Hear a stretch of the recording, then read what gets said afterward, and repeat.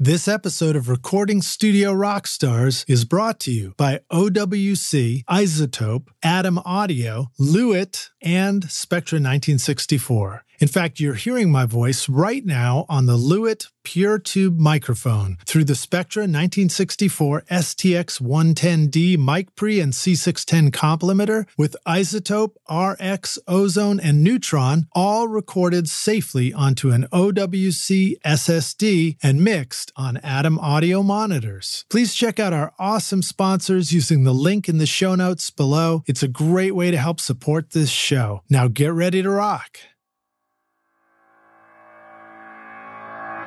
But 99.9% of what I do is all plug in based, and the console is used more as a mastering tool.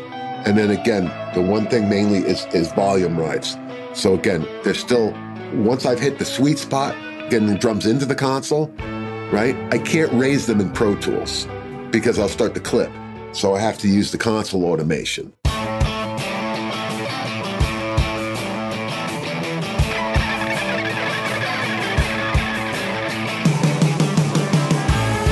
Welcome to Recording Studio Rockstars.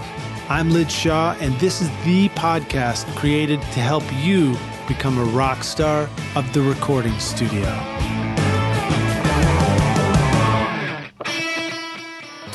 Howdy, rock stars. I've got a secret to tell you about how I get a consistent sound mixing over a thousand hours of recording studio rock stars. My secret is using iZotope, RX, Ozone, and Neutron on every single episode. Right now, you are hearing RX breath control, declick, declip, DS, deplosive, voice denoise, ozone multiband compression, neutron EQ, and limiting, all from iZotope.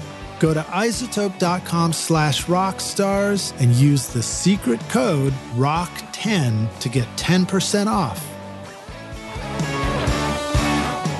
Are you recording your own music or other people's music in your studio, but you're having trouble figuring out how to get your mixes to sound great? Do they sound kind of weak or distant or lack punch and clarity? Well, I've got a gift to help you take your mixes from sounding like basement demos to sounding much closer to professional mixes. And it's my free course called Mix Master Bundle. This course will show you how to get pro sounding mixes from your home studio with free and stock plugins in Pro Tools. And the best part is that these mixing techniques work for you in any DAW, whether you're on Logic, Cubase, Studio One, Reaper, anything you can think of. If you're ready now to make your best record ever, then go to mixmasterbundle.com to get started for free now, and you can find the clickable link in the show notes of this episode.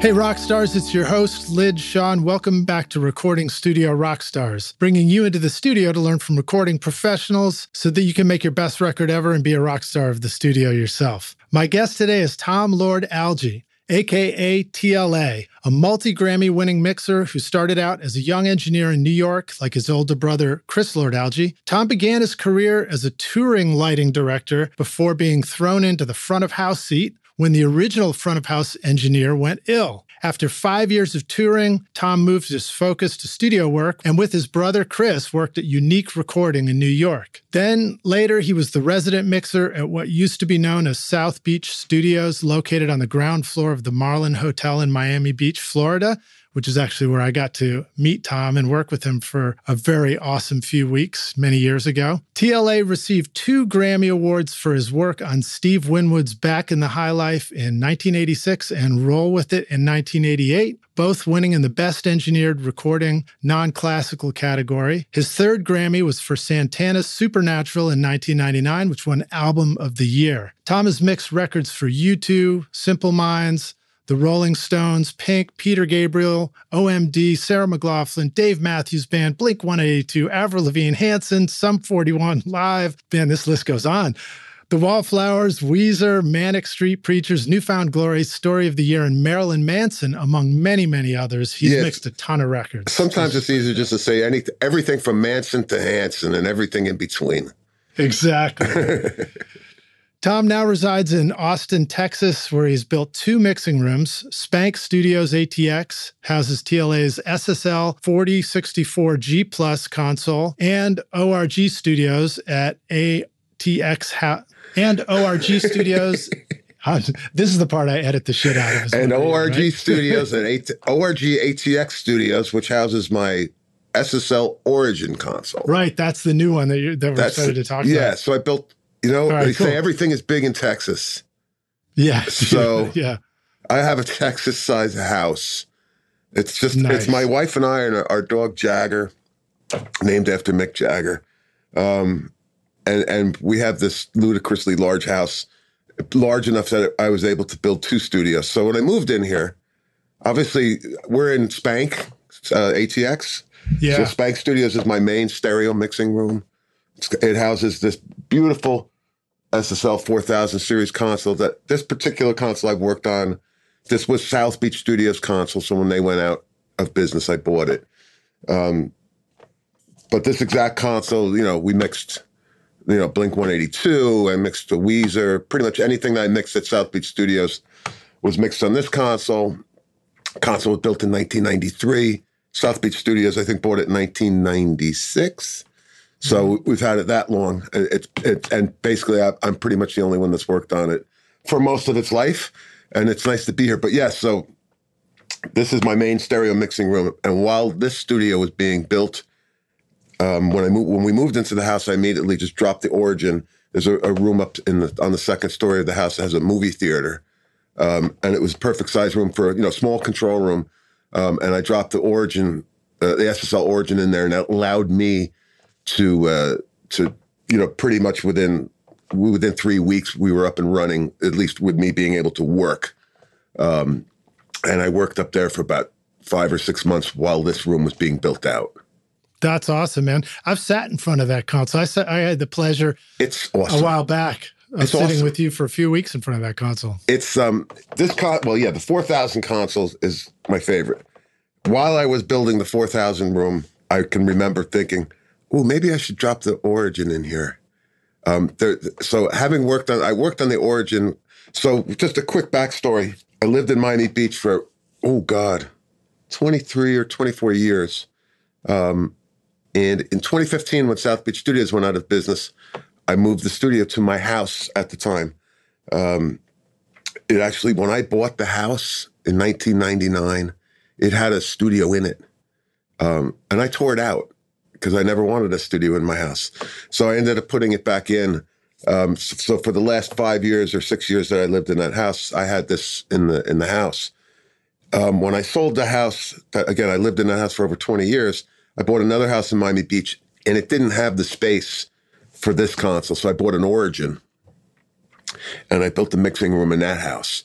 Um, we lived in that house for seven months, and somebody just came and knocked on the door and, and offered me a ludicrous amount of money for it. Nice. And uh, th- that whole time, I mean, I really wanted to move to Austin the first time, but we couldn't find anything, you know, when we looked the first time. So I was able to, uh, you know, we, we came out basically every weekend to Austin looking for houses, you know, and we ended up finding one, obviously. But yeah, so uh, that's the reason I bought the Origin, and I liked it so much that I kept it. The Origin is is a is a great console. The the I think it sounds amazing, and I'm going to continue using it. It's actually going to be, um, I'm going to convert that room into my Atmos room. So I'll do all my stereo mixes down here, and then I'll go upstairs and do the breakout for for Atmos. Um, but I love the Origin console. It's, it sounds amazing. It's a wonderful console, and, and the best thing about it is it's brand new. So it's like you turn it on, and it's just rock solid. Th- this baby is rock solid as well but it requires a little bit of love and a little finessing, you know, which I'm well versed in. Um, but yeah, I, I, I love both rooms and and look forward to when I get the uh, Atmos rig up and running. So what's awesome about this is um, you're so ready to rock that I didn't even finish my intro. So the, I'll finish it. the rock rule. They'll know. They'll know what it's what it is. But uh, I wanted to give a shout out also to Phil Wagner and Fady Hayek over at SSL for connecting us. SSL is great. Thank you guys. Um, and here's here's the official line that I always say, Tom. Please welcome Tom Lord Alge to Recording Studio Rockstars. Tom, are you ready to rock? I'm ready to. I'm always ready to rock. I knew it, man. I knew it. So yes, um, let me let me uh, mention a couple of things. One is I had the incredible honor to work with you for a few weeks, and I think that was '99 going into 2000 or 98 going into 99 when we were doing the Atrixo It record. sounds about right. Yeah. And that was at South Beach Studios, sitting right in front of that very console. That's right. That's right. Which was such a cool place to be. It was so it was so awesome to just like walk out in the warm sunshine and yep. come into that. And there was always a DJ playing vibey stuff in the lounge as yep. you walked in to go to the studio. Yeah, um, I, I missed that place as we're. I was very fortunate to be able to work there for 20 years and it was awesome. Yeah, it never got old. You know, like we would be in there working, and, and some nights I'd work till maybe, I don't know, 11 or 12 o'clock at night. And, and, you'd open the door to leave the control room, you know, to, to leave the studio. And it would be like the second you open the door, the bar was hopping. So it'd be like a roar of sound. And you just walked out in the middle of this like bar.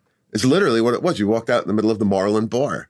Yeah. And um, yeah, there was always something good going on, and it was good times. And then, of course, upstairs from the studio on the second floor of the of the hotel was um, elite modeling.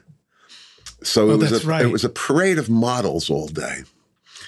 Um, so yeah, sometimes I take a break and I have a, a, lunch out in the veranda of the hotel, and, and again, it was just a, a, parade of fucking models walking in and out. And, and oddly enough, um, you know, one of those models ended up being my wife, who is no longer my wife but I ended up marrying one of the models, as one That's does. Great. As one great. does. But yeah, it was a it was a great time. And yeah, it was a block from the beach.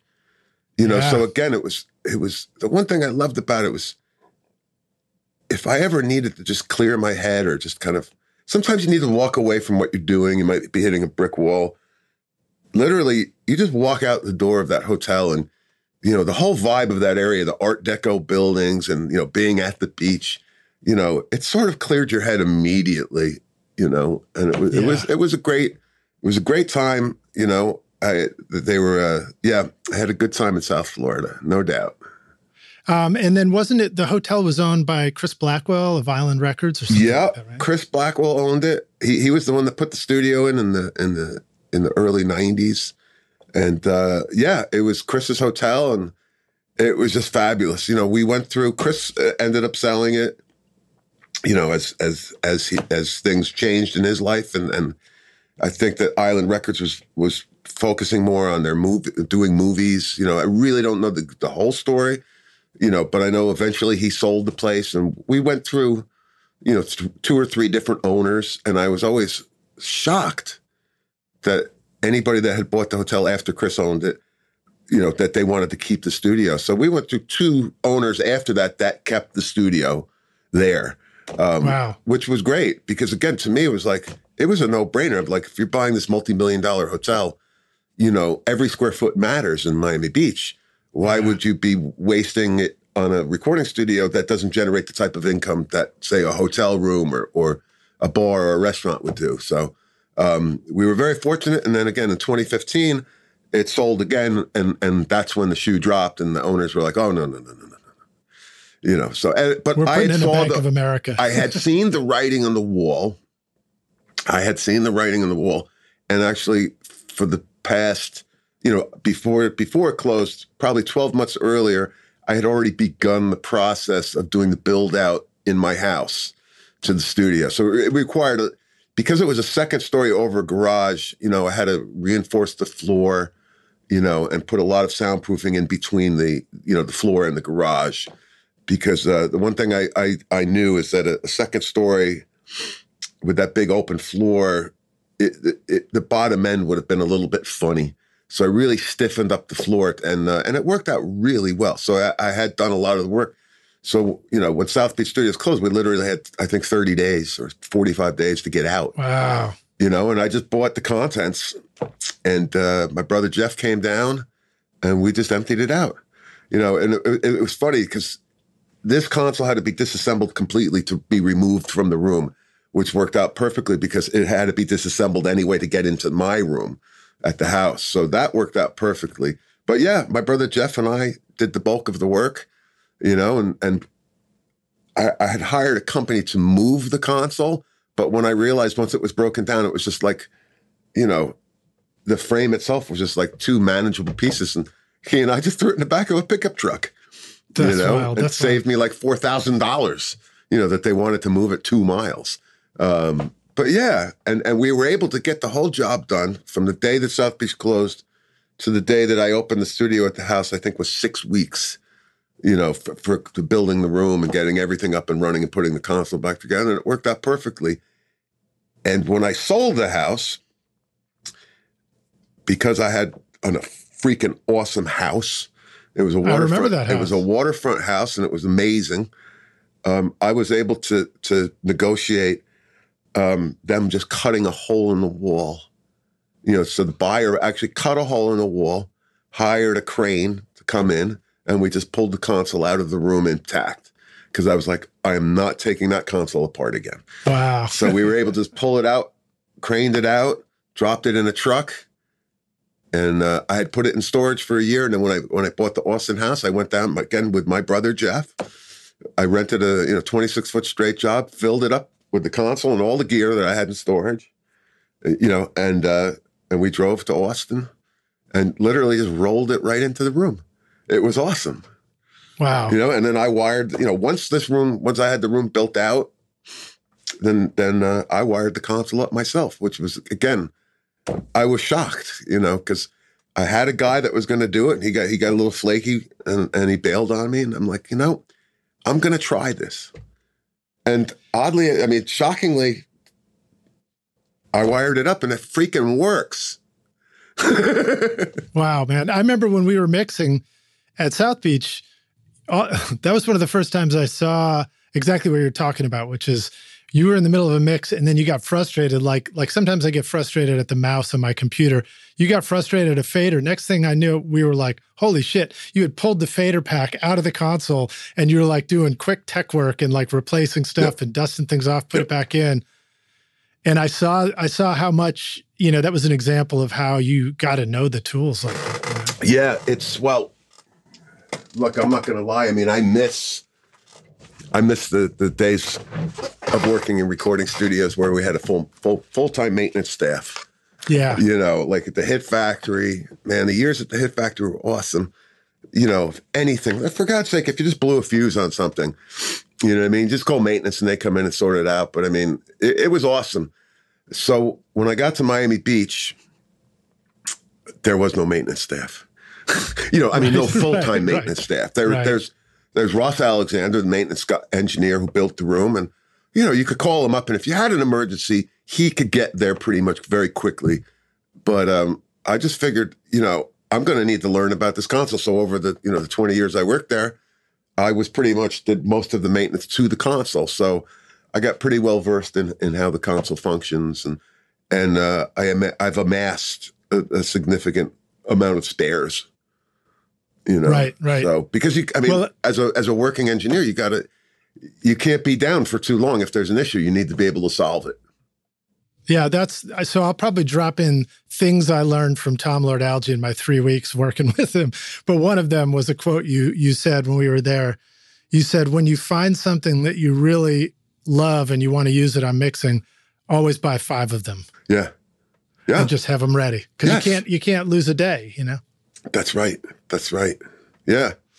Well, yeah, Um, that would remember- explain, that would explain why I have like ten pairs of NS10s. Right. are you now? So are you still mixing on NS10s? Is this Oh, yeah. still part of your workflow today? Yeah, yeah, on, on the console. So these are the NS10. Oh God, which ones are they? I think they're like NS10X.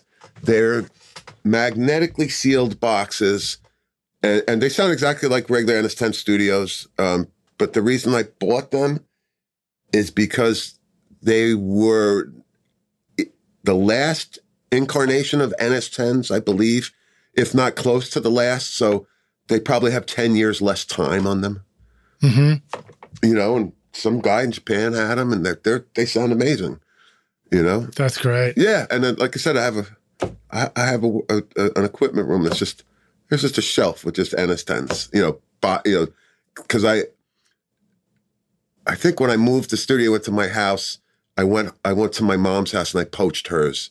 I'd given my mom two sets of of the original NS10s back in the 80s. You know, so hers were pristine. But I, I'm like, Mom, I'm I'm I'm gonna need these. And I bought her a new sound system. Um, and I pinched the NS10s. so that's what parents well, that's parents are supposed to be for there for us like that. My studio is proudly powered by OWC, and I love how it's improved my workflow. OWC can connect all your audio work drives, trackballs, mix controllers, MIDI keyboards, audio interfaces, displays, or cameras so that you can work fast and focus on making your best record ever. Go look at the Mini Stack STX, Thunderbay 4, or Gemini Thunderbolt 3 dock at macsales.com slash rockstars to find the perfect solution for your studio from OWC. You know, as soon as I finished working with you, I came back to Nashville. And the very first thing I did was pick up a pair of NS10s and a Bryston 4B power amp. That's right. and I used them for a long, long time. You know, up until just recently when I finally blew a driver and I just didn't have a replacement right away. And then I haven't gone back yet. But yeah, so um, what you can, so here's, I know that the, the replacements are hard to find. Okay, so here's the workaround. You know, you buy the replacements for the Avantones you know, the CLA 10s. Yeah. And just yep. drop that in. They, I've done that in a pinch. You know what I mean? They sound great. So, so the CLA um, speakers, yeah, the white, um, how do you describe them? The white cone with the black dot, right? The sound of um, I could, I can just replace. I can get those cones and put them in as well if yeah. I need to, or, uh-huh. or the Rockstar. Yeah, you okay, shouldn't. You, you, know, I would recommend if you did it, you'd probably it'd probably be best to do if you're doing woofers. I would do both woofers. Yeah, yeah. You know what I mean? But to be honest, I mean, I've never tried just doing one. But I mean, when I I've done it in the past, you know, where, where I had an issue, you know, like what happens is sometimes they get fatigued, and the bottom end will make a little noise. You know what I mean? And um, you know, I swapped it out once, and I'm like, oh, it sounds like almost exactly the same. You know, and at like you know half or a third of the price. A um, couple of other thoughts I remember you saying. One was, you know, we, we can often get caught up in like, what kind of fancy speaker cables do we need? And you're like, oh man, we just got zip wire and threw them in there. Yeah. Yep. Which I guess is that that's like the electrical wire, right? Yeah. Well, I mean, speaker wire. So, I mean, here I'm just, to be honest, I mean, I'm just using four lead speaker wire. You know, it's like home consumer, you know, consumer audio. Yeah. Speaker wire has four leads in it you know that that that to me was the easiest way. So four leads wrapped up in a you know, and that's what I use. That's what I've always used, or or you know, or just regular speaker wire.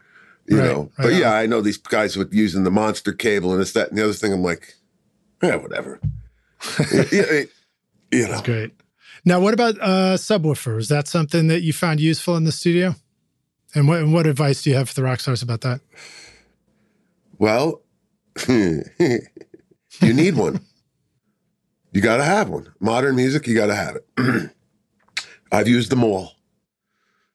And um, I've been using JBL.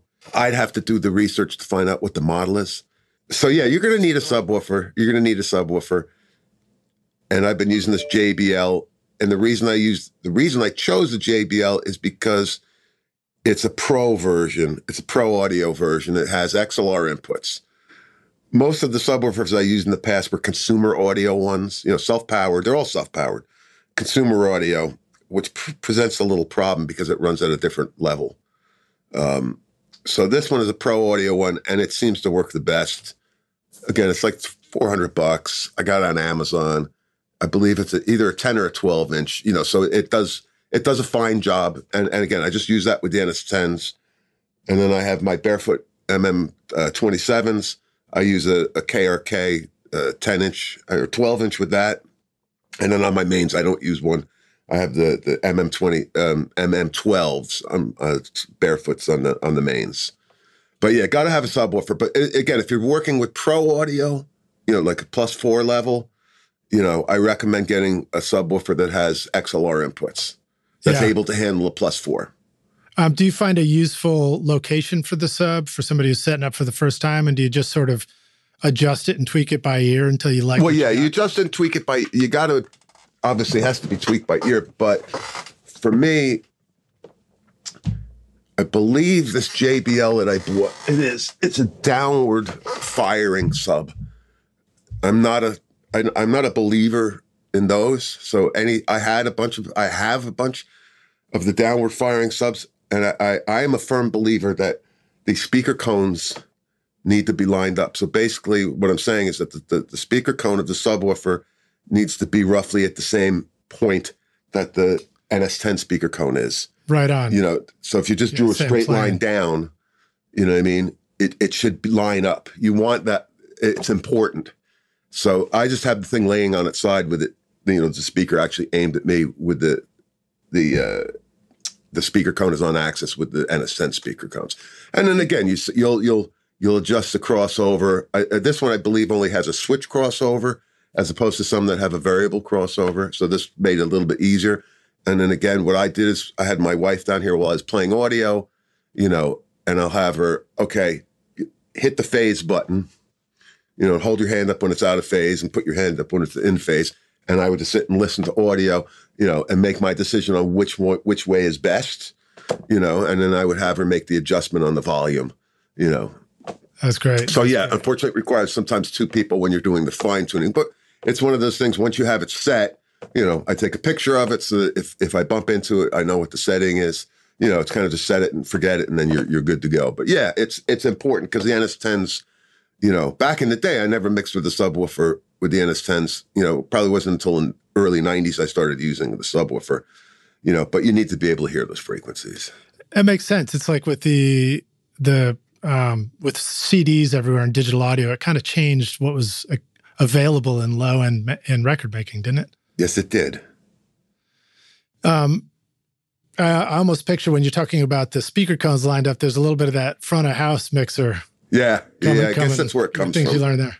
Yeah, It's I guess Oh. uh, you know, and they they say that it's you know they say bass isn't directional, and you know, I, again, I've tried many different configurations. You know, with the subwoofer in the back of the room, off to the side, and again, for me, if it's not lined up with the speaker cone of the monitors that it's going with, it always just sounds funny to me. It just doesn't. It just doesn't. It lacks the punch that I was looking for. Yeah. I'm going to say one. There's one certainty, which is your mixes sound killer. So maybe we'll start with that. um, whatever whatever the tech is behind it, uh, let's start with with the things that you're doing right, which is awesome. Um, all right, so let's see. Tell give us like a brief version of how you got into this stuff, if you want to. I know you've told this story many times, so maybe if you want to give us, you know, a little bit of a brief arc on how do you get into the recording stuff early on. I, I did find when I was doing research, there's a great photo of you and your brother when you you look like you're in your teens on Facebook too. Wow. Um, but uh, t- tell us a little bit about how you got, you know, It's yeah, did in the beginning. it's kind of I suppose it's the genesis of it was was you know uh, preteen or just uh, maybe eleven or twelve years old, and you know so I'm the youngest of six. You know, um, Chris, Jeff, and I were very close, and we pretty much grew up together. My my sister, who's the next oldest after Chris, um, they shipped her out. They sent her away to private school because they saw that that these three boys are going to be a bad influence on, you know, my older sister. And, and then my the next in line, my older brother Mark, he had already moved out by the by that time. Like, I think he moved out of the house when I was like ten years old. So, and then my oldest sister Meg, again, she was already gone. So it was pretty much Chris, Jeff, and myself. And the, the genesis of it was, you know, pretty much from Chris and Jeff, their audio systems that they had. You know, Chris was well into audio. He always had a good stereo. You know, he had a couple of turntables and a little, you know, turntable mixer. And, you know, of course, any second, any chance that I could, I would be in there trying to, you know, figure out how it worked and make cassettes and this, that, and the other thing. You know, Chris and Jeff would catch me and they'd beat the shit out of me, you know, because they didn't want their little brother hanging around. And you guys are growing up in New York. Yeah, New Jersey. Y- you know, we Jersey, we yeah. suburb of New York City. Um, this was actually in Ridgewood, New Jersey. Um, was great, a great town, and uh, yeah, so it was like uh screwing around with the stereo. And Chris had a a Soundcraftsmen dual 10 band graphic equalizer. You know, and that was kind of my introduction to equalization. You know, I would screw around with it, you know, and I remember, you know, I was probably 13 years old, like saving every cent that I could, you know, and finally saving enough to buy my own. And I actually still have it, you know. Wow. You know, so that was that was kind of my foray into audio or my my my introduction into audio. You know, and then Chris Chris and Jeff were both musicians, so like they would have a band, you know, so I would hang around them when they were practicing and you know, there was always a PA and light show. So I kind of learned all that stuff from then. And uh, I kind of gravitated toward the, the, lighting, you know. And then when I when I turned 16, I'd gotten an offer, you know, from probably like a friend of Chris's who had a band, you know, to go, hey, you want to do lights for us? And, you know, we're a touring band and, you know, we tour, you know, pretty much the Northeast. And I'm like, sure. You know, my mom was a jazz musician she signed me out of school. She's like, as long as you have a gig, you know, then I, I, I support you. I will sign you out of school. And, and that's basically at 16, I was working in bars. I wasn't even legal to drink. I wasn't even supposed wow. to be in the darn bar. um, but, uh, you know, it was different times back then. But I did that. And yeah, as the story goes, I was doing lights and sound man got sick one day, one gig before the gig, and the band's like, "You're going to do sound tonight." And of course, my first response was, "Can I do lights as well?" And they're like, "No." I'm like, "Okay." So I guess I did a good job because from then on, I did I did I did front of house, and you know, over a period of time, you know, I, worked with different bands. I bought my own PA system, and I would rent it out to the bands. And then I got it was uh, probably 1982 going into 83, or it might have been 83 going into 84. And a band I was working with, they were doing a gig New Year's Eve. New Year's Eve is big, big, you know, night in the industry, you know, and the band gets paid like quadruple on New Year's Eve. So I just asked them, you know, have a little taste of the action. You know, it's New Year's Eve. Could I get a, you know, an increase in, in my pay for the evening? And they said no. And I said, well, you know, I don't think that that's fair. And if you don't give me a taste of the action, you know, a, a, a little piece of the pie, so I'm going to pack up my gear and leave. And they said, well, we're not going to do that. And I said, okay. And I packed up my gear and I left. Wow. And I never looked back. And that was it. So week you had, later. You had a bold entrepreneurial spirit and early on. Yeah. Well, again, I mean, I just felt that, you know, if you guys are getting paid like four times what you normally get paid, you know, I, I, I think that's great for you guys. I don't think that I should get paid four times. You know what I mean? But I, I, I because it's New Year's Eve, I would like an increase in what you would normally pay me. Yeah. Um, but that was the right move because uh, you know Chris had been planted a bug in my ear. He was saying uh, he he, said, he was always saying, "Hey, you should knock off that live stuff and come work with me in the studio." I said, "I think you'll do really well." So again, that was you know once this happened, I was like a week later, I started in the studio. That's and that, and that's how that's kind of how it began. I feel like I remember you telling a story about riding scooters to the studio or something. Yeah, like that. Is that, is so, that right? there was this thing called a GoPed. It's uh so think of those little push and go scooters. You know, you put one foot on it, you push it, and then you stand on it and ride. And you know, it's got the fold up handlebars. So this was the exact same thing, except it had a weed whacker motor on it. I, I don't know. I was doing uh, I was doing some live gig with Winwood, with Steve Winwood. We were recording a live show up in Boston. And I saw some guy riding this fucking thing. It had a motor on it. It's like a push and go scooter, had a motor on it. You know, so I went up to him and asked him where he got it. And he's like, oh, a friend of mine makes them. So I called the guy up and we bought like 10 of them. I gave them out to all my friends and my brothers. And what I used to do is I lived in New Jersey and I would drive my car in the city and the parking was expensive. So now I would park, you know, on the on the west side by the Hudson River, you know, where it was like five dollars a day versus fifty dollars a day in Midtown. And I would pull this thing out of the trunk of my car, fold it up, and then I would ride it the 10 or 15 blocks to the studio.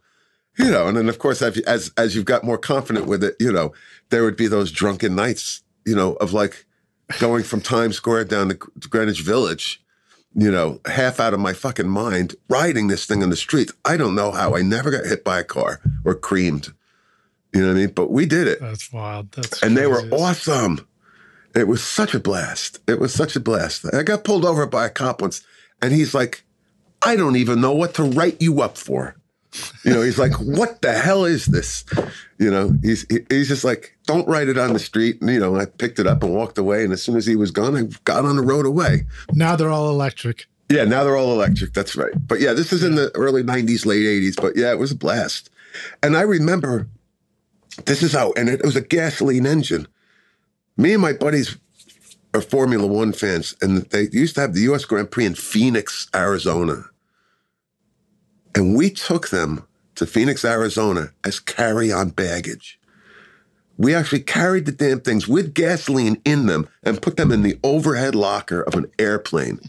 you know, like if you tried to do that now, they'd arrest you. But I, I remember going, this can't be safe. They're letting me on an airplane with a gasoline engine filled with gas.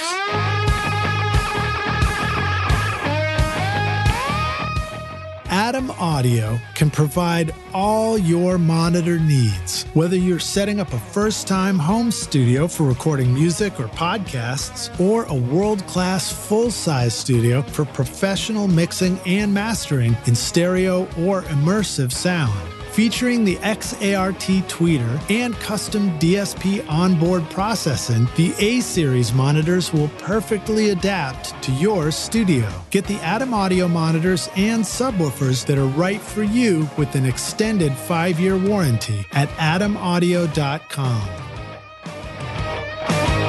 Now, you're in Austin now, and I just realized one of the reasons you might like being there too. Is it because of the race car of the the Trek of the Americas is right there? It's Circuit of the Americas is here. It, it um, of course, the year I moved from Miami was the year that they had their first Formula One Grand Prix. You know, go wow. figure. But wow. it obviously Circuit of Americas, you know, um, is awesome. It it it didn't hurt. You know, moving to Austin, had they have a Formula One race here. Um, but I like to refer to it as I raised my standards and married a Texas girl. So um, she's from Austin, so when we were dating, I would come here to see her, and I I just loved the town. You know, to be honest, I mean, yeah. she's awesome. She didn't want to move from Miami. I was just ready for a change. You know, so she, you know, we both agreed that okay, if we're going to move from Miami, you know, she wanted to move to New York City. I have a house in New Jersey. She wanted to live in Manhattan, and I understand that. So I said, well, how, how about Austin? you know, says because I, I I can't live in Manhattan.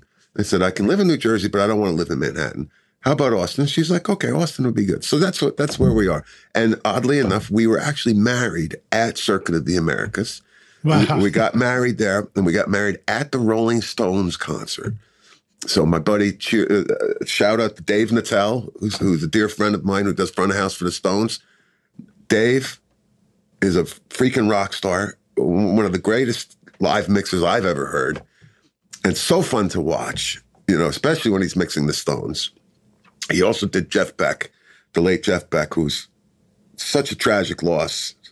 Missed that guy. But he did Jeff Beck, and, and uh, he uses these old analog Yamaha consoles, and he's amazing. But Dave was had this huge spot kind of cornered off at his front of house um, for us to kind of, you know, and me and my wedding party to come in and and uh, and do our ceremony there, and we were able to hang there during the show, and uh, and it worked out great. That's awesome. Yeah, uh, Circuit of the Americas. I was there once because, oddly enough, nothing to do with music. I was there for the tw- 2000. Was it 13? Yeah, uh, Bitcoin conference that was there, of all places. And I saw it. It looks, it's this incredible place. It looks like a giant Hot Wheels. Set. It does, yeah. It's it's it's great place to to, to see a, a race, especially a Formula One race. And uh, there's a couple of plot spots that, if you get the right grandstand, you can see like seventy percent of the circuit. You know, so we we uh, I enjoy going there, and I look forward to again to the Grand Prix there this year. And again, I've been a, a, huge Formula One fan for most of my life. I used to, when I lived on the East Coast, we would always go up to Canada for the race up in Montreal. There's another great circuit. Um, but yeah. Yeah, I remember in Miami, you you had some cool cars there. You had a, a red one and a yellow one, if I remember correctly. Oh God, yeah. I I collected cars for most of my life. and it's funny. My my dream house was always like a house with like a, a six car garage and like a little one bedroom attached to it. You well, know, now you got the big house. Right? Now I got the big house. It's got a seven car garage, and but I sold all my cars. over over the years, it just I just no, I couldn't. I had cars for 33 years. You know, vintage. I was collecting vintage, you know, American muscle cars, and I had some real gems, and I loved them. And it only took a couple of times of having major issues. Like I had one of them, caught, actually two of them caught fire. Um, and it just, what happened is, you know, at one point I had 14 of them. And at one point it's just like, you can't keep track of which one needed what work, you know? Yeah. So it's like, you know, it's like upkeep. It's like studio. Upkeep. Yeah. You know, when you're taking out a, you know, I had, I had some real, a nice Shelby Mustang. I had two Shelby Mustangs, you know, but I had a 68 GT 350 you know, and I remember I'm taking it out and I'm take, picking this girl up for a date in it, you know, and like the rear drum brake locked up, you know, I'm like, oh, fuck, you know, just like seized, you know, I'm like, you know, and it's embarrassing, you know. Yeah, right, right. You know, but it's little shit like that. Like, you know, multiply that by 14 cars, it was never ending. So at one point, I'm just like, I'm done with this, you know, so I just drive a crappy old Ford right Explorer on. now and, and happy with it. But yeah, I had, I, I, I collected cars for most of my life. Awesome.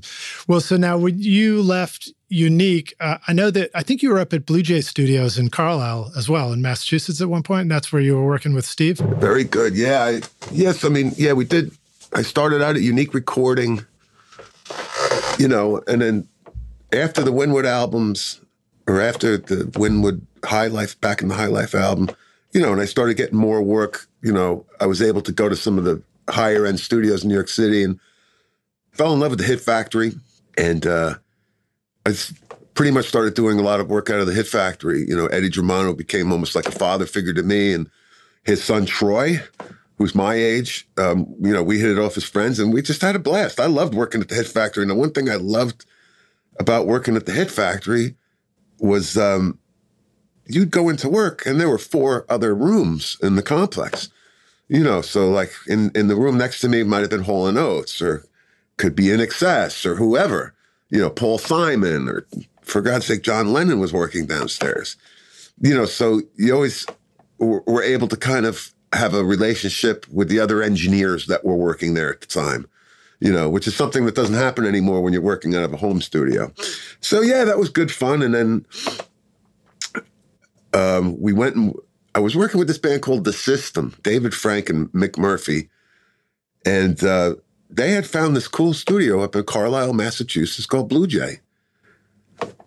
You know, okay, you know, and it was a residential. So the studio also had a, a, house that was maybe a couple of miles away, and you would stay in this house, and then you just drive in and go go to work. And the studio was built in a bunker. Wow. It was very weird, but it was really cool. It's kind of in the woods, you know, had a great little yard area and barbecue, and it was just a really cool vibe. And I fell in love with it. So we mixed an album up there for the system. And then I liked that place so much, I, I went back and did a couple of other albums and befriended the assistant that was working with me. The guy's name is Rob Feaster. He was the assistant that worked with me. And we became friends. And he ended up moving to New York. And I hooked him up with a, a gig at the Hit Factory. And and uh, we're actually still friends, you know. And he moved to Nashville and then he moved to Australia. And, and then I get a phone call one day and he, was, he, he moved a block away from the studio in Miami Beach. So we, we, yes, and we're still friends. He still lives in Miami, but yeah, Blue Jay was a great place. I had an SSL, and yeah, really enjoyed working there. But yeah, it was East Coast, and this is around. This was eighties, early late eighties, early nineties. Okay, and then uh, I started doing a lot of work in California while still living in New Jersey. So I decided, let me move to California. Chris was living in California. My brother Jeff was living in California. So let me move out there. You know, so uh, again, I packed up, moved out to Los Angeles, literally was there for a week, and I got an album booking in New York City. I was like, son of a bitch. of course, I moved to California because I want to live where I'm working. And I got a booking to mix it. It was Dave Matthews, Under the Table and Dreaming. They wanted to mix it at Power Station in Manhattan. All right. So that's what I did. You know, so I came back and mixed Dave Matthews in New York and then did the rest of my work in uh, in California. when we were working together in Miami, I remember you talked about, you know, here you have this great studio to work out of at South Beach, and and occasionally bands would be like, "We want you to work where we are," you know, and you're like, "I got, I want to work where I know got everything I need for mixing." So I guess that's like, I guess that's always a struggle that people have to deal with, figuring out how to, you know, yeah, where, well, where you want to be. Well, look, I know, I know, I knew when I moved to Miami, and then I had the the the. It was my opinion or my feeling that if they bands wanted the best mixes, they need to come to where I am. Right. You know what I mean? So one of the reasons I moved to Miami because I saw it as an opportunity for bands. They work their ass off making the records. They work their ass off touring and everything that's going on to mix the record outside of out of their bubble. You know, so in other words, they're away from the distractions of where they live. They're away from the distractions, you know, their girlfriends, the record companies, everything else. They come to Miami and it's like, okay, we can just focus on mixing. You, you know what I mean? And you have you just get a break and you can kind of focus on it. So I saw that as a plus. But I knew that there was going to be gigs that I'm, I was going to lose because the bands didn't want to come down. So, and that, you know, I was cool with that. So, and and one of the things that happened, so I'm just going to backtrack a little bit. You know, the Steve Winwood gig back in the High Life, that they hired Chris. Okay. Chris, at that point in his life, was focusing his energies more towards mixing. He's just starting to just focus on being a mixer. So that was a recording gig. Okay. But they had hired him. So Chris pitched me for that. And, and of course, they were cool with it. And the, the, the, uh, the agreement was I would record the record and then Chris would mix the record. And, and that was fine. I worked on that album for roughly eight months, you know, recording it. And as it got close to the mixing, you know, Steve and Russ Titelman, the producer, were like, we like what you're doing and we'd like to stay with you. You know, so I spoke to Chris about it, and he's he's like, doesn't matter which Lord Alge mixes it as long as it's Lord Alge. Right. you know, famous last words. You know, you know, forward a year later, I don't know if he would say the same thing, knowing that that album won Best Engineered Recording Grammy. You know, but he was very proud of me.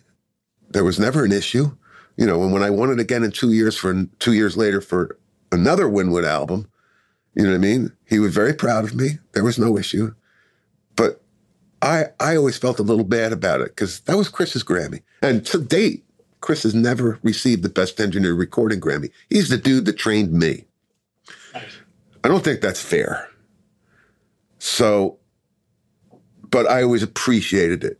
And I've always said that, and, you know, without my brother Chris, there would be no me. Like, it, the path would have been quite a lot different. I mean, Chris cleaned toilets, you know, swept floors, so I didn't have to. You know, I mean, I walked in the studio. I was, I assisted him for about a month, and then I did my own sessions. I didn't have to go through the hierarchy of working your way up. Um, all based on my brother's recommendation. So I always appreciated that. So again, my story was so now we're in the 90s. I'm working at South Beach Studios, and I'm higher. I'm I'm six to eight months booked in advance. You know, so I, I had a booking. It's coming close up on it. I get a call from the band. The band's like, "Hey, things have changed, and we can't come to Miami. You know, would you consider mixing the record in Los Angeles?" And I said, "Well, you want my best mixes?" And they said, "Of course we do." And I said, "Well, you need to come to Miami." And they said, "Well, we can't." And I said, "I know a guy. I know a guy." in Los Angeles. So I recommended my brother Chris. They went with the recommendation. He mixed the album and he killed it. That's great. That album was Green Day, American Idiot. Wow. And he won his first Grammy on that album. Wasn't a best engineered recording Grammy, but it was his first Grammy award. So I I I, I remember just feeling a tremendous amount of relief and well, pride in my brother's work and his accomplishment, but just relief that I was able to pay it back. You know what I mean? That, that Yeah. because of my recommendation, you know what I mean? That, that this worked out well for him. And obviously that was the, that was, in my opinion, that's what set CLA on fire. You know what I mean? Like that record, that was Chris all the way. You know, like he just fucking nailed it so like he killed it. You know what I mean? And then he just ran with it, you know, and and that was really the genesis of of his second part of his career, which is now it just which has created him as probably arguably one of the best mixers in the world. That's great, man. Um, you know, hearing stories of brothers in the same industry like that is such a cool story to hear. You know, one of the one of the artists you work with, of course, is Hanson. Um, did you find that you were able to connect with those guys just also on the brother the brother story level? Sure. Yeah, they're they're an interesting dynamic. I mean, I we mention Hanson. Of course, everybody just thinks of MMMBop, this little bitty you know pop tune. Hanson are the keepers of the groove. You know, they do R and B records, and their shit is real. It's totally legit. Drums, bass, Hammond organ, guitar. Let's go. And they're awesome. I, I, honestly, I mean, I still work with them. You know, and they're great. They're up in. When I told them I was moving to Oklahoma, they were like, "Great, now we can come down and mix with you." I mean, when I told them I was moving to Austin because they right, live in, in in Oklahoma, which is not far from here. You know, they're like, "Great, we can, we love Austin. We'll come down next time we mix an album." I'm like, "Awesome." But Hanson, they've been dear friends of mine. I love those guys. And yeah, they're kind of it's a similar thing. I see the the dynamic with the three brothers and you know. Yeah, that's great. Uh, no, no offense to Hanson or anybody in Oklahoma, which of course is also where the Flaming Lips are from. Yeah. But um, my roommate in in in uh, grade school or no, in high school was from Texas, and he used to tell me a joke, which is how I know where Oklahoma and Texas are. He said, "What keeps Texas from falling into the Gulf?" And the answer is Oklahoma sucks. That's awesome. but uh, anyway, now at least I know where everything is.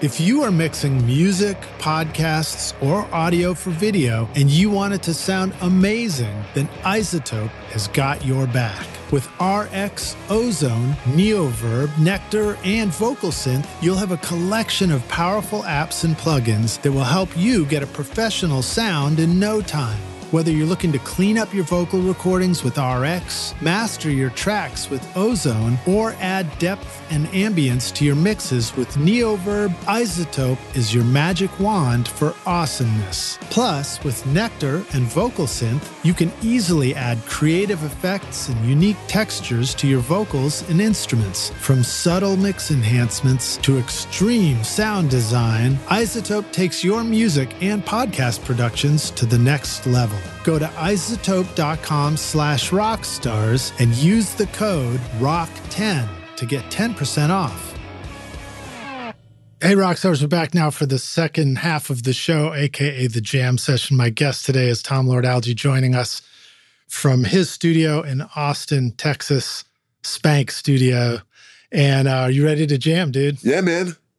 All right. So let me go into i got a lot of great questions um, for you about making records. We've got questions that have come in from the rock stars and from friends. Um, and i also want to preface this by saying that when i had the pleasure and the you know the gr- great opportunity to work with you 20 years ago i was that that new guy was so green. I was so excited to be in the studio with you. It's like all I wanted to do was just ask you, "What's that? What's that? What are you doing right there, Tom? What's that for?" and you were you were really gracious about dealing with that because I, I, know that. I was going to ask you, "Are you sure I wasn't a douche?" you know what, man? You gave me a T-shirt that said you have the right to remain silent, so please shut up. and I and I got a great story about that because um, Lillian, the artist we were working with in a trick, so he got it immediately. But I was so green and I was so excited to be in there mixing and learning this stuff. I didn't even get the joke until he pointed it out. so, so I really appreciate it. Finally, I have an opportunity where it's appropriate to ask you a bunch of questions. So thanks for doing this with us. Yeah, man. Um, all right. So let me see here. We've got some questions that have come in, um, and I'll just jump right in and go through them. So thanks for sending in your questions, Rockstar. Some of these come in from our Facebook group. If you're not there now, please just go to facebook.com and look for Recording Studio Rockstars. Join the group if you want to um, be able to ask questions like this. And then just make sure you answer the three questions so we let you into the group and we know you're not a robot. All right. So this one comes in from Trent Jones. And Trent says, I'd love to know anything, everything about mixing Live's Throwing Copper album.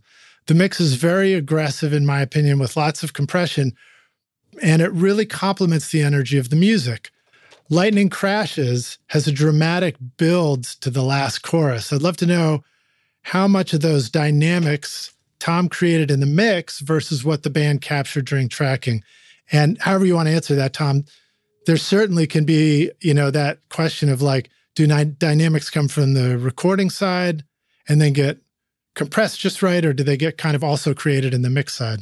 I think that a lot of the dynamics on that record were, were inherent in the production. Now, my memory, well, first of all, I had to audition for that record, Rats. You know, and I had already mixed some stuff for them in the past. I, I mixed a couple of songs for Mental Jewelry, but they had me audition for that record. I came out you know, Jerry Harrison, I've been doing work with him. He, he's like, I want you to mix this record. The band wants somebody else. You know, come on out and mix a song and we'll go from there. Obviously, I think I nailed it. the first yeah. one we mixed was uh, Selling the Drama. It was mixed in this freaking awesome studio in Lake Geneva, Wisconsin. It was in it, it was the studio was in the complex that used to be the Playboy Resort so it was this sprawling resort, massive hotel with the conference center. And in the conference center, they had the studio with an SSL, and the studio was great.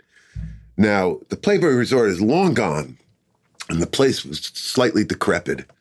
Um, and they were actually about to either tear it down or renovate it. So we had the run of the place. We were the only ones in the hotel.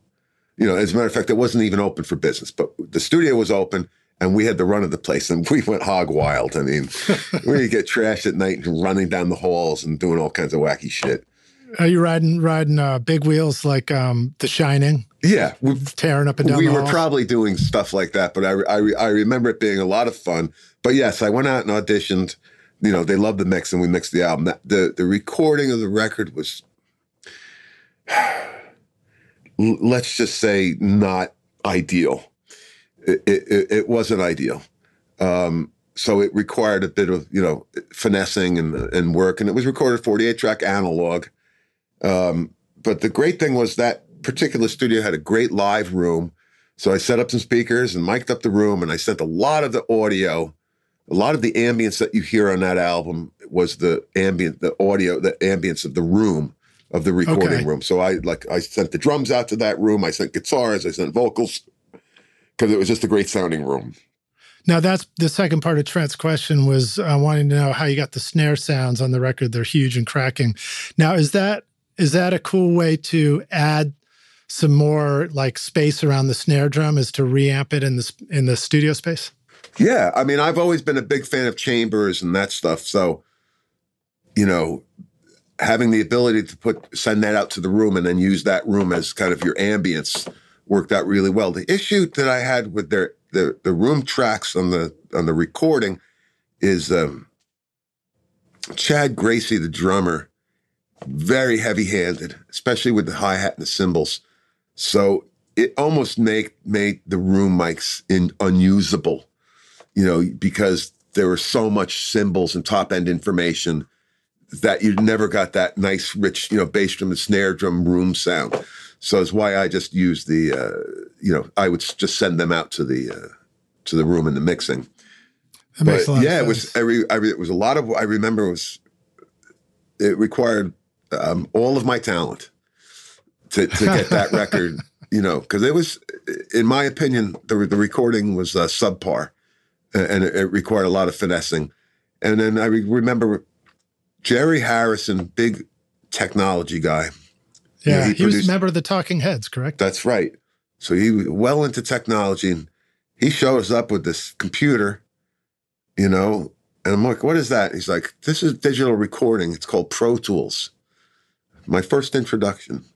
Wow. You know, so we're going to mix the analog, but we're also going to mix into here. So on Lightning Crashes, all that amp noise in the beginning of the song is how it was recorded. Uh, I don't know why, but that's just how. That's the recording. Jerry's like, I can get rid of that. I'm like, okay, I'd like to see that. So um, he took the guitar, put it through Pro Tools, and got rid of all the amp noise. We, the band and I, listened to it, and and all of us together felt that although it technically it sounded better, it had lost the vibe. Mm-hmm. You know, part of the vibe was all that noise. You know, literally just all that noise, and then uh, the recording of that record on almost every song there was like three different microphones per, per, performance of guitar you know. So in that particular one i just i just picked one microphone to start the song with. And then you know as it progressed i would blend in other microphones you know. And and yeah it's just their whole thing is like it it starts low you know and gets loud so you kind of just finesse it i was just going to say it reminds me when we brought the Atrixo album to you we uh, that's where i learned lessons like don't show up at the mix with like four mics on every single guitar overdub for Tom to figure out at the at the mix session. You know, and one of the things you did is you started flipping between them. Then you turned to me, you said, You notice that these two are just the same guitar in mono right here? And I was like, Oh man. So yeah. What do, what uh, what do you want to say to the rock stars about you know multi mic guitars before a mix? What what should we be doing to make it better for? Well, well, like do whatever you look. With with the multi mic multi microphones on one guitar performance, whatever you got to do to get the sound. Okay. But I can tell you that, you know, let's just say, let's just use two that use two microphones. I can guarantee you 99% of the time, once you balance it, you know, like basically your first balancing of them is always, you're never going to change it. You know what I mean? So just bounce it down to one track. Yeah. You know, I mean, it just makes the session tidier, whatever. But yeah, when I get those sessions and I get them daily, you know, I open it up, I listen to it. You know I mean? And again, 99% of the time, I just go with what their balance was. And I, whether it's two or three microphones, I create a single channel out of it. It just makes session management a lot easier. And again, nowadays, you're able to, you can create another session that has the originals in it, you know, and it can be placed in on a hard drive somewhere.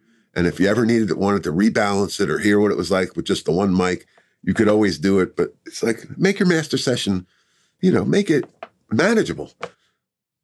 Yeah, that was another lesson I learned from you when we brought in the sessions. We had created everything in Pro Tools, so we started out thinking that Pro Tools was a sidecar in the studio, and by the time we were done with that record, the whole record was in the computer and we needed to get it over to the tapes for you.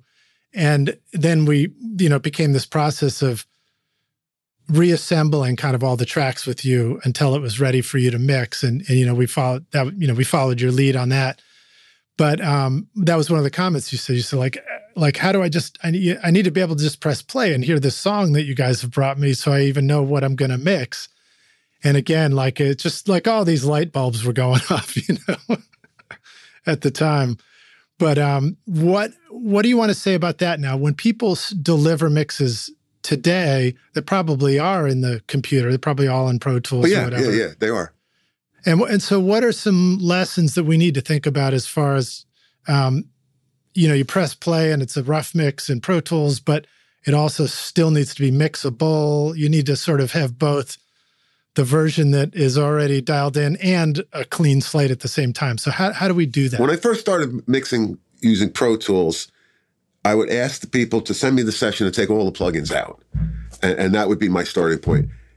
And then I realized that that probably was a mistake, you know, because back in the early in the early days of Pro Tools, people were still EQing and compressing and doing that stuff into Pro Tools. Now, you know, over the past 10 or 15 years, now what they've done is that they record what I call documents. So basically, they just take the microphone, plug it into the preamp, and then plug that preamp into Pro Tools. Yeah. And then it's a document. And then all the heavy lifting is done by the plugins. So therefore, it's not in it's not in in my interest to have them remove the plugins. What I asked them to send me, send me the last rough mix, you know, or the rough mix that you that you like send me that session, you know, with all the automation and all the plugins, and I'll go through it and I'll sort out what I want to use and what I don't want to use. Nine times out of 10, I scrap anything they did with the drums because they normally suck. And, and what I can do with the drum set, you know, is I can make it sound great. Like I know what I can do with the drum set, so I don't even bother with with whatever you know, unless they've done something that's that I feel is really spectacular. I generally scrap everything from the drum set, and what I do is I when I'll get their session, I'll scrap the drum set, and then I'll start by mixing the drums and getting the drums mixed and balanced, and then I'll begin to go through the other instruments and, and see what of it what am i going to use that they've done and what am i not going to use? And again nine times out of ten i, I use all the drums uh, all the bass guitar and keyboard balances. I pretty much just take them and commit them. You know what i mean? And and that becomes my starting point. So i commit it so that you know and then i save the original session of those things if i need to go back and rebalance or do anything. But i do that so that i just have an audio track that has all their moves, all the automation, all the plug-in information. It's just a new audio track with no automation in it. It's that's how it is, and then I treat it as such from there. I would you know manipulate it from there. It just makes it a lot easier. And then again, if I need to take a step back and redo it, you know, I have this. I, I create a session of that bounce you know, and I could go back and if I needed to rebalance something or take an effect off or something like that, I would do that. So, and then when it comes to the vocals, then it just depends on what's going on. Because again, nine times out of 10, my vocal chain is going to be a million times better than what they're using, but sometimes what they've done creates a vibe. So it's not out of the realm of acceptability for me to actually take the lead vocal with the effect and just bounce a stereo stem of it and use that for the mix and then put my shit on it afterwards. You know, like, you know, it's I do that all the time, or maybe I won't print it with the reverb and I'll run the reverb separate, you know, Right on, right on. So, and and does that does that also feel like something that used to happen as well, where you was there already a process of? I feel like I remember you had sort of the console almost like two sides. You'd bring the stuff in and, and work on it and then move it, uh, you know, print it over to the other side of the board. Well, yeah, that's so, yeah, back then I used to, I would do that. I would actually, I would, I would run stuff through the console and some of my outboard gear and then print it back into Pro Tools. You know what I mean? Because I've just gotten over the past, you know, 15 years, 20 years, I guess. Um, I don't like to run my gear live. If I'm going to use my outboard gear or the console, EQ and stuff like that, I just don't print it, you know, especially if I'm doing something that's a lot of that requires that, that, that makes the sound. You know, it's one thing to just put the EQ in and add a touch of, of top end or bottom end or, you know, but if I'm going to gouge something with a lot of compression, and you know, it's in my interest to to to print it into Pro Tools yeah. that way, so that it always plays back that way. Especially if I have to recall the mix and you know do an update to it, then it will always come back. Whereas if if I had a notate, you know, the the the whole thing with the Total Recall when I was doing analog mixing using all outboard gear, it's the patch cords. Unless you serial numbered the patch cords, and, and, said I used patch cord number one to go from here to here, and then patch cord number two to like, and that's a shit ton of work. But what happens is if you're not using the exact same patch cords, like you know, there's subtleties that that get lost. Yeah. So yeah, I just found that it was in my interest to just print it. Well, you had a you had an amazing assistant there. Um, Femio, nice guy. Yeah, Femio, he was great. Yeah, and he and the patch bay was just this forest. He was just he was just like looking up over this forest yes. of patch cables. And and uh, when you did a recall, he would get it all ready, and you come in and you sit down and press play, and then you had this one button, and you just flip it, and you'd listen and see. Right. You'd listen for whether it matched perfectly the original, right. the last print right. of the mix. That's right. It was just it was it was quite something. yeah. so that. I was using a, a Sony thirty three forty eight tape tape machine, you know, in in concert with in conjunction with Pro Tools but I would always print the stereo mix, you know, obviously to two channels on the 48 track, and I would have that come up on an on an on an external monitor, you know, an aux, so that you know in real time I could just switch to here's the mix that I printed, here's the live mix, and you just switch them back and forth, and you'd be able to tell right away, okay, this you know this needs an, uh, to be looked at. You know, why isn't this sounding right? Right, right. Very cool. All right, I'll keep moving forward. So the next uh, comment comes in from Cheyenne Metters. He says, uh, Dad used to listen to that record. He's talking about live. Oh, um, just, yes. Oh, yeah. My mom just school. loves you guys. That's, that's it's the worst thing was... you can say to a band. It's like, oh, my mom just. I, I, I dated this girl once, and I took her to to see one of the artists I work with, and she meets the band. She goes, "Oh, my mom just loves you guys." It's the worst fucking thing you can say. So, but go ahead. Yeah, my dad. Go ahead. Yeah. Well, I think Cheyenne became a fan too. So when I was in eighth grade on cassette in an old Jeep, was great. If I recall correctly, the second to last chorus in Lightning Crashes actually dipped in volume and then rose back up for the final chorus. And then That's Trent right. jumps in and says, "That's a cool memory." Yeah, there's a lull in the bridge, then a little That's dip right. in the following chorus, then an explosive finish. Yeah, Um, yeah. I mean, it, it designed in the production. Yeah, it kind of great. Yeah, it's it's not this. It's just a whole dip in the energy. So yeah, it's this big rise, and then and then it comes way down, probably to just like you know drums, bass, maybe one guitar, you know, and Ed, you know, just singing by himself, and you know, in a, in a in a falsetto voice, singing the chorus, and then it builds to this, you know. And you guys were mixing off analog at that point. Still, yeah, yeah, that it was, it recorded was 48 track analog tape that it was recorded on. So yeah, that and because we were mixing in Lake Geneva, Wisconsin, I didn't have Sony 3348 with me, so I had to deal with the synchronizing the two machines, which is a huge Right. fucking pain in the ass. Yeah. Uh, so. Rockstars, if if you're not familiar, Rockstars, 48 tracks of analog means two 24 Two track 24 tracks, which means there. that you have a tape machine that has synchronized. So it's like, you know, oh, quick, just rewind. Let me get that bit in the first chorus. Well, you have to rewind halfway into the first verse so that the tape would be synchronized by the time you got to what you needed to make, you know, address.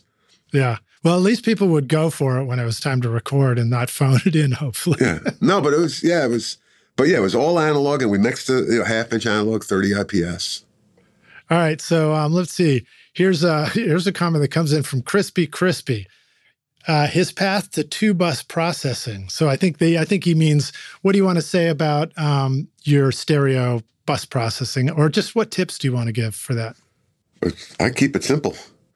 So all I use in the two, I mean, I just use, to be honest, I just use my, uh, the console compressor.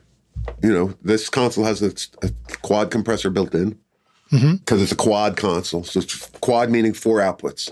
So left, right, I'm sorry, left, right, yeah. Left front, right front, left rear, right rear. You know, for some reason they kept building quad consoles even after the the, the quad, you know, went defunct in the 70s. Right. But um, but I like it in quad because I when I come to print stems, I can print two sets of stems at once. Because again, left, right, left, rear, you know, right, left, right, rear, left, right, front. yeah. Yeah. yeah. Um, like so it's a quad compressor. Um, but that's all I use. I don't use any equalization or anything like that.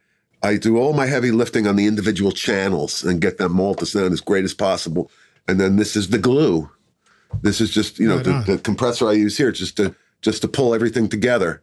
But all that heavy lifting is done everywhere else. So you know, I mean, look, there's there's no right or wrong way to do it. But generally speaking, when I look at your master fader, if I see seven plugins in there, you know, I, I basically know what type of mixer you are. You know, like Right. to me, you know, your master fader should have one or two plugins.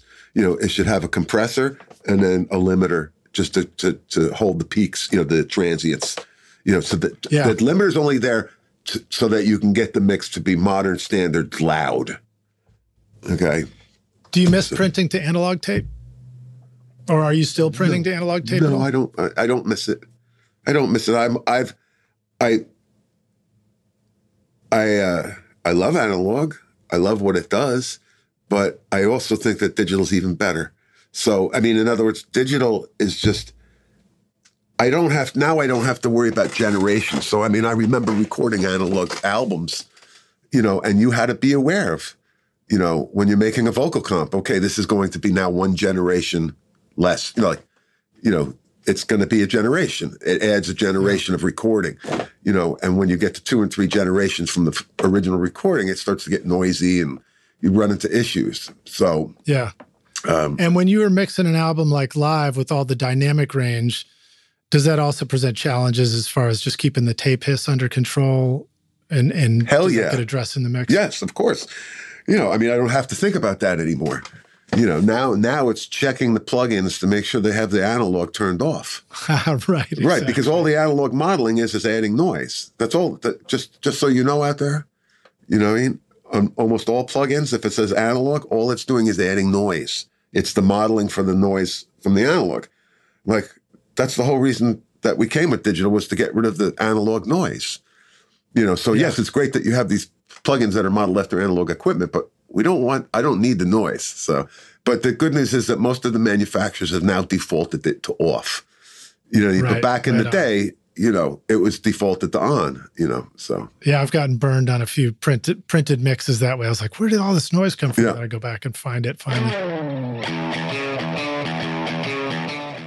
Oh, OWC is your one stop shop for flexible drive storage and connectivity solutions for your studio. The Mini Stack STX for your Mac Mini adds two additional drives over a universal SATA HDD SSD bay and an NVMe M.2 PCIe SSD, plus three additional Thunderbolt USB C ports. The OWC Thunder Bay 4 chassis, built like a tank, gives you four hot swappable 2.5 inch Configurable drive bays, plus an extra Thunderbolt Thunderbolt 3 jack for daisy chaining up to five devices. Or check out the OWC Gemini Thunderbolt 3 dock with two RAID configurable drives and seven ports of connectivity, including a front side SD card reader, 1 gig Ethernet, two USB 3.2 ports, a dedicated display port, and an additional backward compatible Thunderbolt port. Get your studio connected with the Mini Stack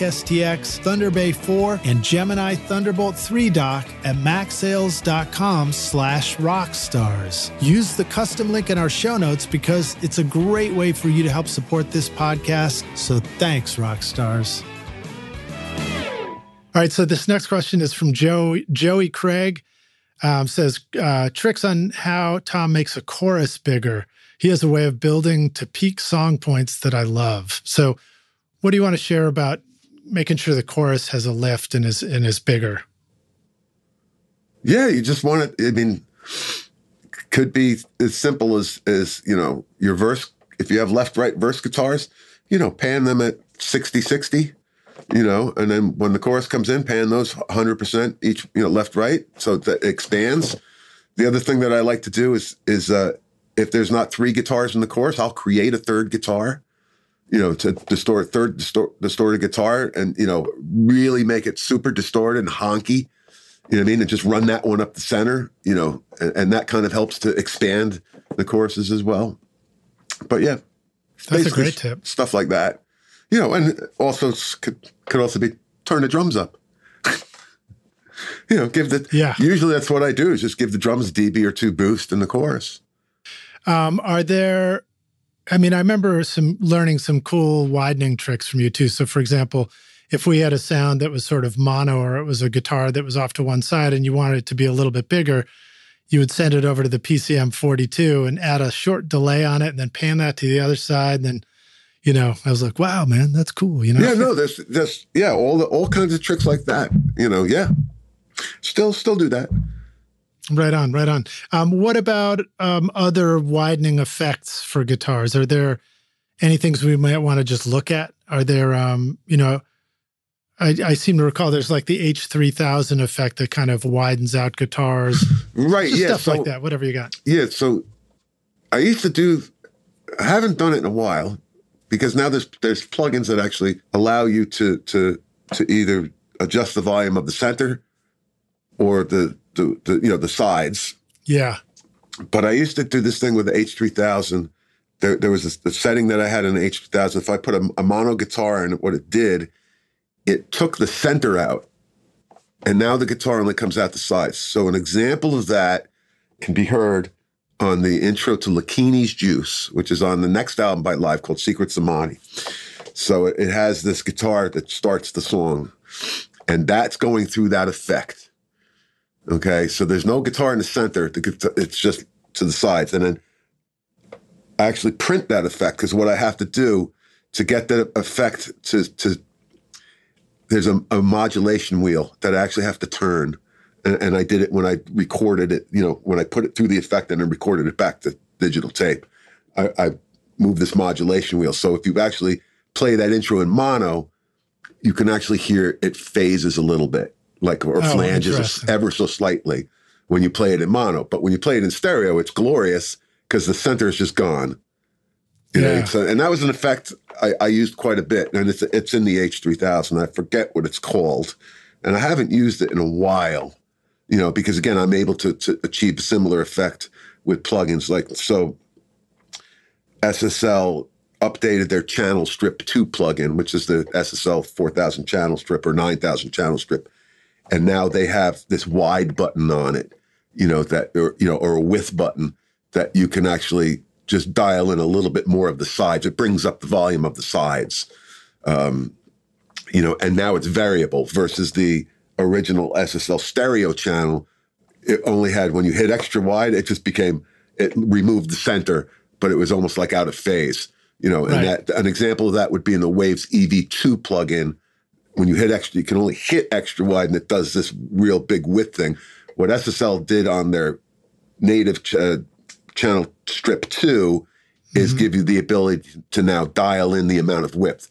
It can also be done with the the Vitalizer, the SPL plugin called the Vitalizer by adding again the stereo width.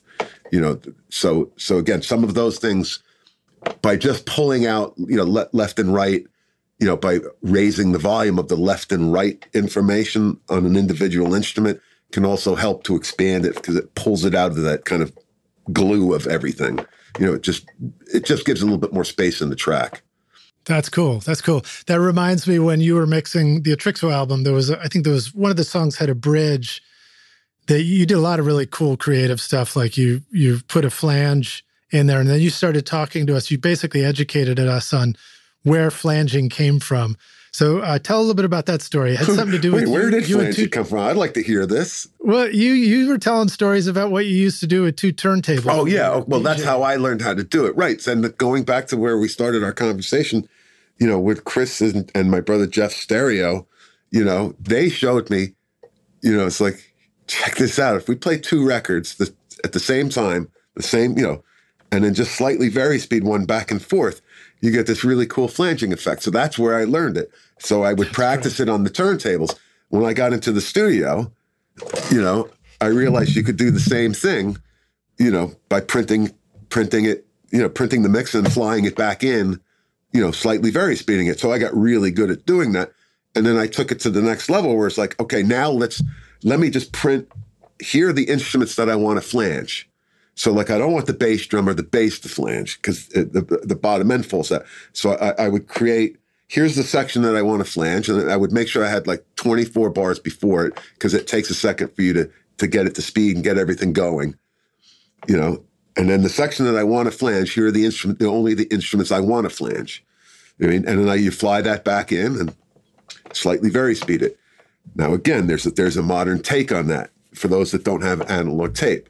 So you do the same thing except you print it to a track in your DAW, and then you would use the Eventide Precision Time Align plugin, okay, which allows you to go pre or post.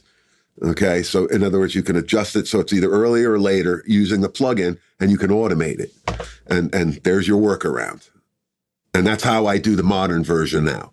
You know, that's so again, great. I generally don't I don't like to have bottom end information in the flange track because again, the bottom end just disappears. But you know, especially with like screaming guitars that are just sustained, it just creates a great, great jet effect. You know, and again, a, great example of of of the old school analog flanging could be heard on Sum 41 Fat Lip, which is at the the end of the bridge. There's a big build there. Um, it's the abortion part. There's a big delay and a big, uh, uh, you know, thing happening there, and just a full track flange. That's great. I'm all right. I'm looking forward to hearing that. Rockstars, we have a playlist put together of Tom's um, extensive discography. I'm sure it's not everything, but it's a lot of cool stuff.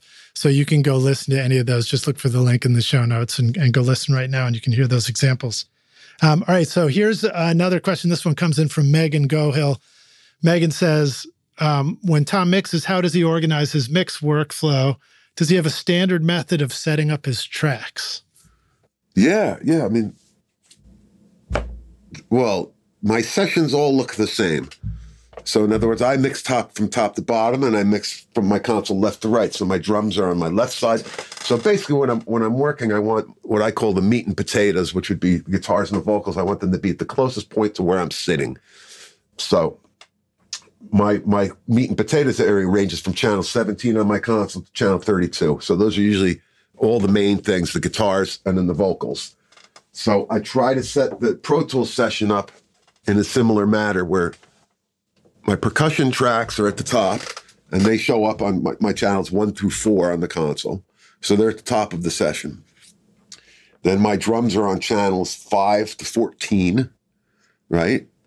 And they would be the next in line, you know, again, corresponding to where I put them on the console. And then the next would be the bass on 15 and 16, and then the guitars on 17 to 24. So the session is is actually laid out the Pro Tools session is laid out like the recording or uh, like it's coming up on the console. Then my vocals on 25 to 32, all the vocals, and then the keyboards and the other extraneous in- instruments on 33 up. So that that would be how the session lo- works out. But what I found recently, what I'm doing is, is I do all the instrumentation and then then I put all the vocals at the bottom of the session, just to keep all the instrumentation together. But yeah. yeah. And then the other thing, most importantly, is I relabel the stuff so it's not in hieroglyphics. Because I, what is with hieroglyphics, people? Um, hello?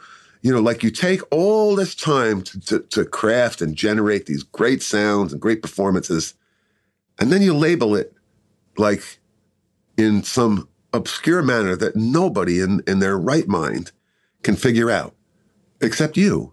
You know, like at what point did you think guitar strat.dupe.cm.01 was acceptable. You know, like you spend all this time, but you spend zero time making it so you can navigate and quickly look and go, oh, that's the chorus guitar. Yeah. Yeah. Rock stars, take your session, make it really simple to understand what's in there and please make it so that Tom can just press play and at least hear the damn song when he starts mixing. Yeah, and and the vocal should be labeled vocal, lead vocal, you know, lead vocal double or vocal double, whatever, you know. Yeah. yeah. Okay, cool. Um, let's see here. This one comes in from Brian Murphy, and Brian says he's got a few few parts, but the first is um, what are some of his best tendencies for getting a great pop in a snare drum? Compression. nice. And do you find that the SSL onboard compression is like how often do you find that's the compressor that you reach for on a channel versus outboard stuff? I use plugins. I just use the plugins. So um, for snare drum, you know, the arouser is brilliant. Yeah. You know, shout out to you, Dave. Yeah. He did a great job with it. I love that one. Um, to be honest, I mean, I use the SSL channel strip, you know, plugin, whether it be the SSL version, but lately I've been using the, the Waves EV2, you know, and again, I like that one as well on the snare drum. Um, yeah, it's really dependent on the, the, the recording, you know, so it depends on the recording, but yeah, it's just about, you know, e- IEQ into compression. You know, I see a lot of sessions where the guy are compressing first and then EQing that's all fine and dandy, but I figure I'm, you know, I'm trying to create a new sound. I want the compression to be with that equalizer, you know, right. going into right. it. So that I think is the key, in my opinion. So now, um, you know, you you have a long history working on the 4000 console. You're you're you've got the Origin console going as well, which I think is like, it's it's like a hybrid of if I recall, does the orange the origin does not have automation on it? So it has no automation and no dynamics, so it doesn't have the compressors or gates built in. Right. So it's acknowledging that a lot of that stuff is taking place inside Pro Tools. Correct. Correct. But it and is then, a solid console. Yeah. It's solid. It's and, a good sounding console. And very um, um, upgradable, like modifiable, right? Ooh. You can put uh, you can put controllers in the front. The oh yeah, yeah, yeah, yeah. I mean, yeah, I got the the SSL controller, and yeah, yeah, yeah. Do it's, you find? Uh, are you using the UF8 and the UC1 at all in a, in your workflow yet? In, in, that room, yeah. So those are those are in the Origin room. I have both of them, and I use them in the Origin room. Uh, down here, I don't need them. So the so for example, using the Channel Strip 2 plugin and the UC1 controller, it's like you've got you've got the same stuff you would see on a board. It's pretty cool. Yeah, I would like to see SSL make it so that any of the SSL licensed plugins can operate through that device. Right, As- right, right. now, it's only the SSL made plugins. Right. You know, but it is. Yeah, the thing is cool as shit. Yeah, I, I put that into my studio recently, and I'm having a lot of fun It's awesome. using it. So it makes it fun to, um, you know, to not have to look up at a screen. Just just listen, Yeah, start start getting into the music, and not have to wonder where something is. that's right. You know. Um, all right. So the next question from Brian. He says, "How does he feel about the latest trends in spatial audio, and does he feel like it could bring a demise to larger consoles?" And uh, that that question also comes in, if I can find it quick enough, from Colt Capron saying, "You know, are you doing Atmos mixes, and is Atmos truly going to be the future?" Aren't you glad that you're the one responsible for answering that question, Tom? So I was just kind of hoping it would all go away. I'm not gonna lie. It's Yeah. a huge fucking pain in the ass. And what I feel let me give let me tell a story about it. So sure. my brother Chris, who's who's fucking brilliant. My brother Chris jumped in the Atmos with, both feet. And you know, he has a much bigger control room than I have, and he put in a, a, a just a, he and Allen Sides developed put together this Atmos system that's in freaking incredible. I went there. He Chris played me Boulevard of Broken Dreams that he mixed in Atmos, and it was it was probably one of the most amazing things I ever heard. And I just said to Chris after I was done playing it, I, I complimented him on, on how great it sounded. And I said, it's a damn shame that nobody's ever going to hear it this way. Because Chris's rig is all calibrated and it's done through speakers and it sounds incredible. And like everybody in the world should go to his, should book him just so he can hear Boulevard of Broken Dreams in Atmos on that rig because it's never going to sound that great anywhere else. Because most people are going to be listening through AirPods, you know what I mean? And through AirPods, it sounds like ass, you know? Or if they do put together a system, it's probably not going to be calibrated correctly. So it's it's a it's a nightmare. So Right. I'm all for it. I'm all for this the, that mixing. I mean, again, when I was able to get this console and put it in my house, you know, when we wired it up, I wired the room up for quad. So I have, you know, poor man's surround because my console can do quad.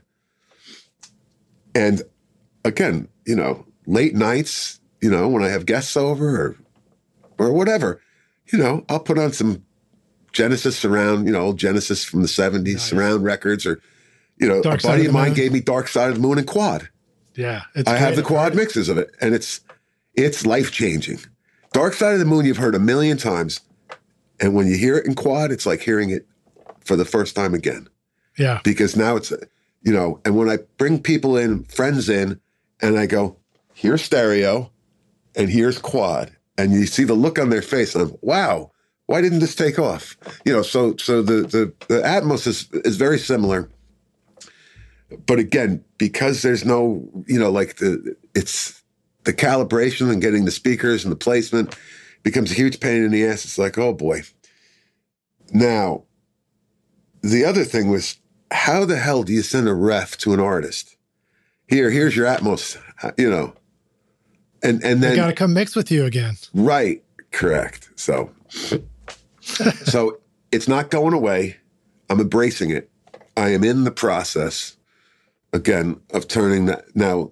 So the, the my my origin room was my stereo mixing room until this room got up and running. But my plan has always been that that will be my Atmos room.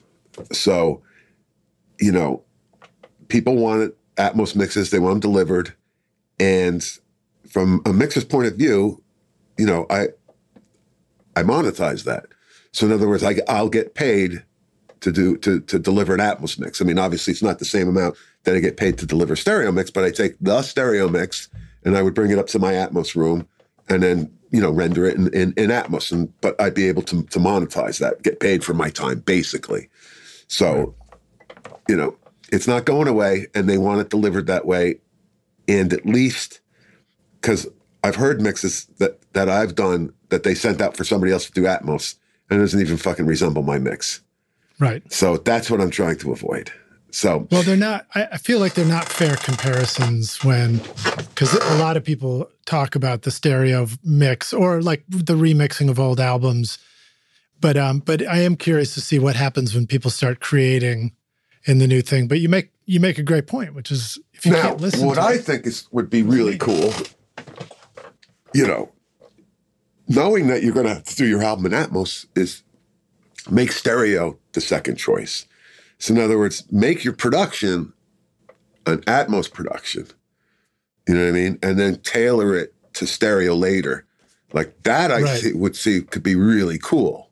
Do the other way. Right. In other words, the, right. Because right now, Atmos is the afterthought. So make stereo the afterthought. You know what I mean? So And then call Tom and he'll show you what a really great mix sounds like correct. stereo. Then get a mix that you think sounds good, and I'll blow it away. The other thing with Atmos, and I also feel this way about Surround. Surround, I think, missed the boat because they didn't tap into car audio. I, I think car audio, it's you're in a perfect environment for surround or Atmos. right. Controlled. Right. Yeah. Like that's the perfect place to have your uh, an Atmos rig, you know, monitoring rig is in your car. Everybody's got the same stereo with the same setup and the same alignment. Correct.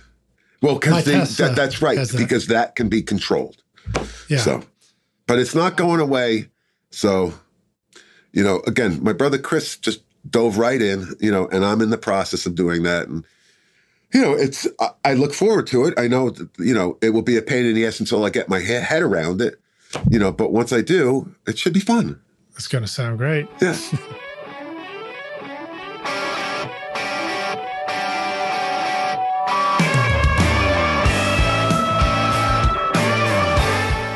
Adam Audio introduces the all new A Series line of monitors, featuring the XART accelerated ribbon tweeter design, built in DSP based room correction, and speaker voicings, allowing you to customize your Adam Audio monitors to your control room. The A series will rock in any studio. Small studio spaces or immersive multi speaker configurations are perfect for the A4V or the new A7V, the next generation of the incredibly popular A7X. Mid sized rooms and narrow spaces will love the low profile A44H, expanding on the A7V sound, or the A77H, a true three way midfield monitor delivering rich, spacious sound. And bigger studios will love the A8H, a three way speaker and the pinnacle of the A series that delivers extremely accurate sound required for critical listening environments. Get the Adam Audio monitors and subwoofers that are right for your studio with an extended five year warranty at adamaudio.com.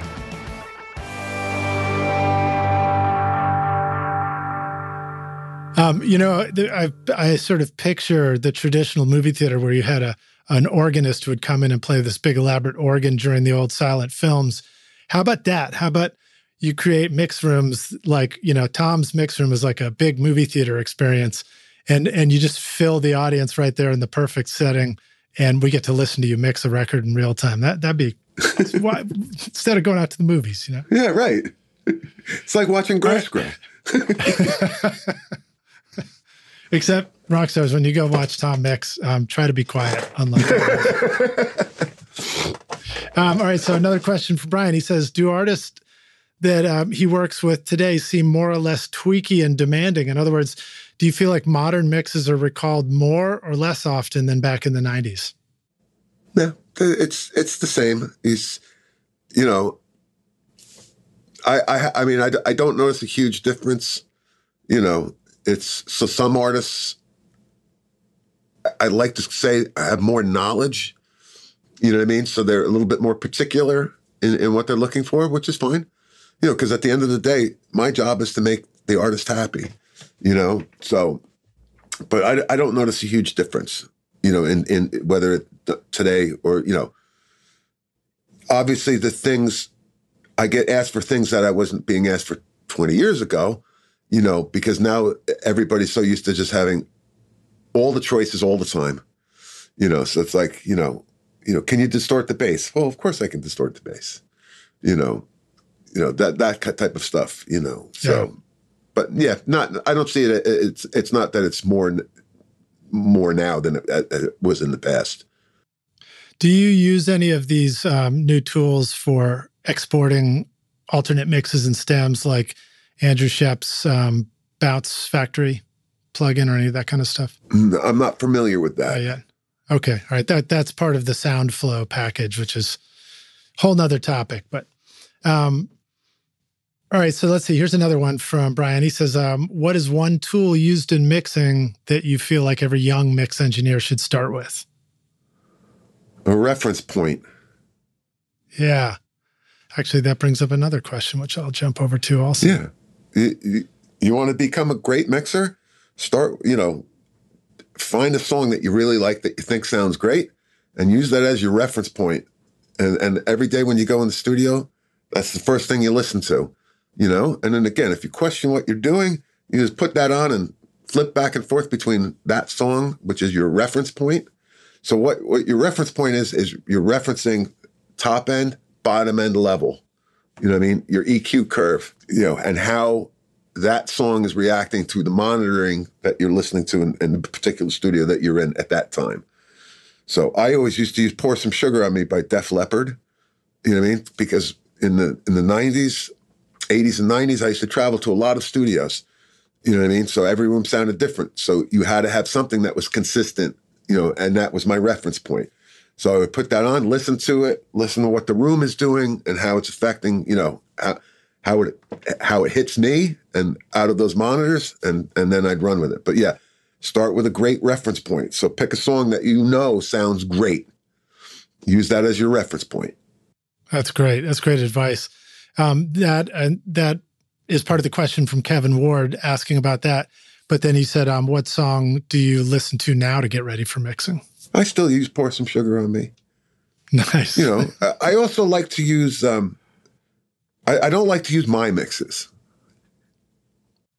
That's uh, that's interesting to hear. Yeah. So what do we want to take away from that? Why would be why would we listen to other people's mixes rather than our own as a reference? That's a good question. Um, I don't know. I just don't. I don't like to use my mixes. You know, I mean, it it doesn't mean I haven't in the past. So so again, like when when when I did the shakedown of this is a new room that I'm in, Spank Studios, two two or three months old. You know, when I did the shakedown, you know, in other words, when I the first time I played audio through the speakers, you know, I started with you know Def Leppard, and then I went through a list of other things, you know, and then I started to listen to my own stuff, you know, to see how it translated. So, but generally speaking, I just because I'm too familiar with my stuff. So I was gonna say, yeah, Def Leppard pour some sugar on me. It's great for top end and bottom end. And then another record is Korn Here to Stay. Another one great with top end and bottom and heavy, aggressive, you know. Um, but yeah, you know. And then if if I was going to use, you know, one of the ones of one of that one ones of mine that I use as a reference would be um, "Dropping Anchor" by Jimmy's Chicken Shack. It was on the Pushing the Salmonella Envelope album, one of my favorite albums of, of, of band I mixed. Um, I really always liked the, I loved the way that record sounded.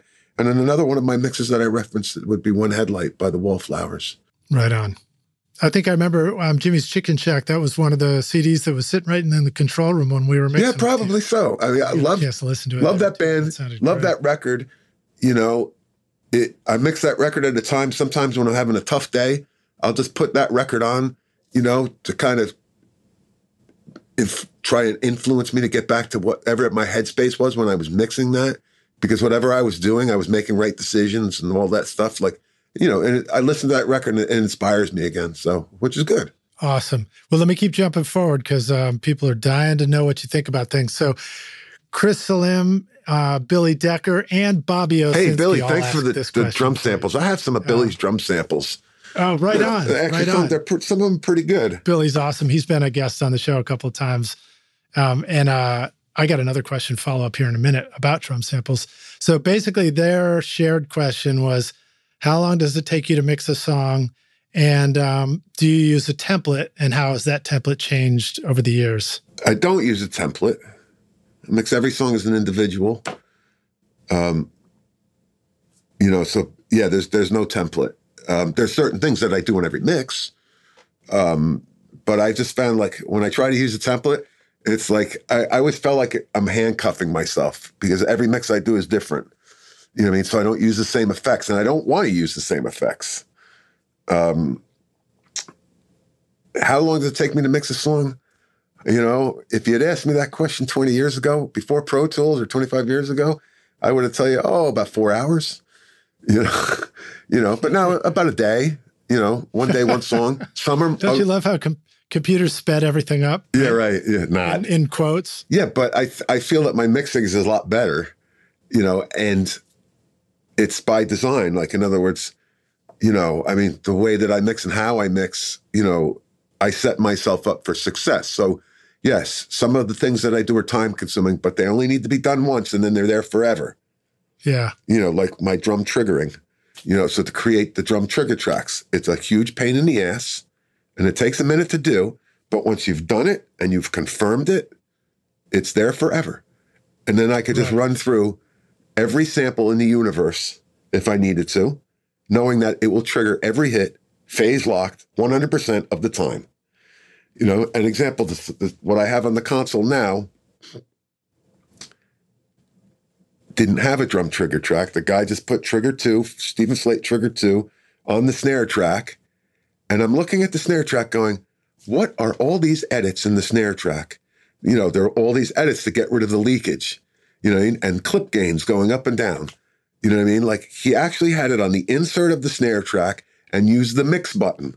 So he added a sample in with the live snare and then had all these wacky edits that I had, it was a nightmare to undo, but I undid it so I could get just the raw snare back again. Yeah. That that's a good example of the wrong way to do it. You know, you create a trigger track, right? Super, super easy. If you don't know how to do it, I know that I've talked about it in some of my videos that are up there on YouTube somewhere.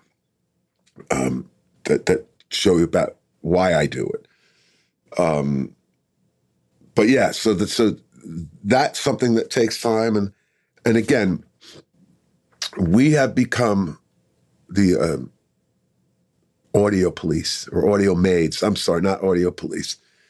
Mixing engineers are now audio police as well, or audio maids as well. So I have to listen to every track all the way through for bad edits. You know, I mean? guys, when you're editing anything with bottom end information, make sure you put a fade on, on, on the edits. Otherwise, it will leave a digital pop. Yeah. You know what I mean? And drums and tom toms included.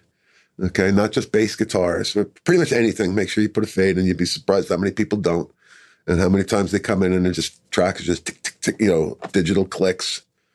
Um, so, you know, so that needs to be sorted out, and then then you have to deal with you know what, what we're all dealing with. You know, back in the in the in the early parts of, of audio recording, we were trying to recover transients with analog tape. You tried to recover the transients, hence why the attack times for so many compressors of older compressors are slower than modern ones, because you're trying to recreate the transients that got lost in the recording to analog tape. Now with digital recording, we're doing the exact opposite. We're trying to reduce the transients. So interesting because they don't get soaked up by the tape. Correct. Correct. But the, again, the great news is the plugins have gotten better.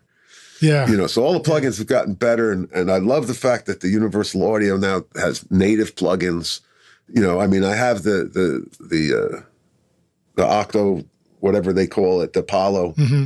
you know, mm-hmm. to whatever the boxes that you need to run the yeah. Universal Audio. But it's even better now. I even use the plugins twice as much because you can just run them natively.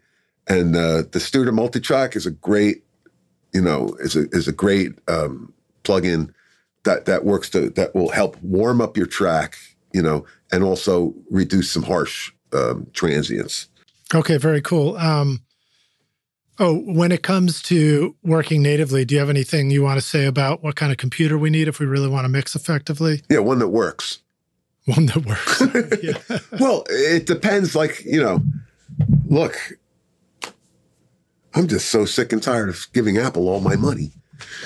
You know, I mean, I, I thought two or three years ago, I was buying my last computer for the studio, you know, but then I had a, you know, but no, then, then it's not, you know, at some point there, it, it won't be, uh, you know, what Apple does is they, they don't include that model in the update for hard, for software, you know, the, the operating system, you know, so yeah, when you have to drop 10 grand on a Mac Pro, it, it hurts, you know, but mm-hmm. for what I need, you know, I have to have that, mm-hmm. but, you know, get the computer that's within your budget and, and, the, the the only suggestion I can make is whatever amount of RAM you think you need, double it. And then whatever hard drive space you think you need, quadruple it. You know, nobody should be buying a computer today that doesn't have a four terabyte hard drive in it, in my opinion. I mean, because now with the, back at that back in the day, we used to be able to swap oh, out yeah. the hard drives with ease. Okay, but now it's become a nightmare. You know what I mean? So especially with laptops, you can't even swap the hard drive. So don't chintz out. If you could, if you have a computer that you can manually swap out your hard drive, then then and your RAM, then yeah, then then chintz out and and insert it later. But the modern computers, you can't do that anymore. So yeah, I guess unless you're you know, you're just dealing with external drives and all that kind of stuff. But I, I it becomes a horror story. I mean, I I think I have. Just give me a second. I'll count how many hard drives. Uh, so I have my main hard drive. Yeah. Then I have a PCIe four terabyte hard drive. So there's there's two main hard drives. Then I'm running externally one, two, three, four, five, six, seven, eight, nine, ten hard drives. you know, because there's one that I so I have one that's called the work drive, right? It's a solid state drive. That's where I do all my work. Then when the mix is done and I'm ready to print, that gets copied, you know, by not copied by dragging. Copy. I take Pro Tools, save a copy in. I create a new session with, you know, where it copies the audio files to another hard drive, which is called the mix drive. That's where the final mix gets put on and laid down. And then once it's mixed, then it, that also now gets saved as a copy onto another hard drive, which is called session storage. Right? Then there's what I then there's a drive that I have called original session storage drive, which are all the variations of what got me to the final version, get stored on that. And again, they're all two and four terabyte drives. And then there's the, you know, 16 terabyte drive. That's the backup of everything. Yeah. And then you also must have the challenge that I know, uh, cert, you know, certain professional mixers have where you can or can't use cloud storage, all that kind of stuff. It can get tricky because of. I don't use any cloud storage all my data is here on hard drives and it's um, redundant. I, so again, it's all redundant. So if my if my mix drive crashes or which I've had before, where I've had a hard drive pack up, you know what I mean? All the data that was on it is on another drive. Not to mention, not only is it on another drive, it's also on my 16 gigabyte or terabyte time machine backup. Right. I'm glad to hear you using Time Machine. I'm using that too now. I feel like that's one of the ones that just does its thing. Yeah, I mean, basically, I just calculated all the amount of space I have in hard drives, and then made sure I got a drive large enough to, to cover all the data if they were all full. Yeah, yeah. You know, like you I dropped a drive on the floor one time and, and it packed up. You know, luckily it had just finished backing up. Are you using any of the OWC stuff? That yeah, that's the, the, the four terabyte internal PCIe one is the OWC. Great, great, great. You know, that really just get used when I'm mixing uh, to video, you know, video, you know, so I'll put it on that drive because it's the fastest drive. Um, okay, so one comment I, I remember you saying about uh, drum triggers when I worked with you is you said you used to search through a million samples looking for the right one. And then one day you said, screw it, I'm just going to go make my own from the drum set on this particular album you know, find a clip and make your own samples. Is that still a thing that you find useful to do? All the time. All the time. You only need, you know, well, guys, you know, guys that are slick, and I get more and more of it. I used to just get it with the Japanese recordings. I do a lot of Japanese stuff, making good rock music in Japan. Um, the Japanese recordings at the end of their take would be drum hits. You know what I mean? So I'd be like, snare room, no problem. You know what I mean? There's here's five hits of the snare drum through, you know, and, and I'd be able to to do that. And it was also great for tom toms, you know, because you'd have the tom hit, and then you know, if you get to a spot where the cymbals are really bashing and it's just bleeding through, when he hits the tom, you just drop the sample in there. Yeah. So, yeah, I still do it. Okay, cool. Um, you have you got a minute for a couple more questions? Yeah. All right, dude. We're psyched to have you here. Thank you. Um, so this one comes in from Joe Gilder. Joe said, uh, first he said, that's so cool that you're here on the show. And then he said, how about what's a common mistake you see in tracks people send to you? I know you've been sharing a bunch, but are there any things we forgot to ask you about? Yeah. Most importantly is the common mistake. So I'm, i just finished mixing an album for a band. I'm not going to say the name of the band because I don't want to embarrass them. They used a tuning program. They they they happen to use Waves tuning program. It doesn't matter which one you used, but how they used it, they just used the bypass. They automated bypass for the when they wanted it in tune. The problem with doing it that way is every time it turned on, it created a bump in the audio, a click. You know what I mean? And it's like, oh fuck. And they and didn't that's not something it. you can clean up. Right and they so and they didn't render it. So after I did the first mix and I realized what was happening, I had to go back and redo the vocal. And all I did was I du- duplicated the vocal, followed their automation, and just created a second track that had the the tuner the tuning on all the time and pulled down the regions that needed that they had set up for tuning. So right, the most important sense. thing, in my opinion, is that you render your tuning. Tuning, your tuner should always be the first thing. If you're using a tuning plugin, it should be the first one in there. Okay, so it goes. The first plugin it hits should be the uh, auto tune or whatever you're using to tune. You know, once you have it worked out the way you want it, render it. You know, commit it.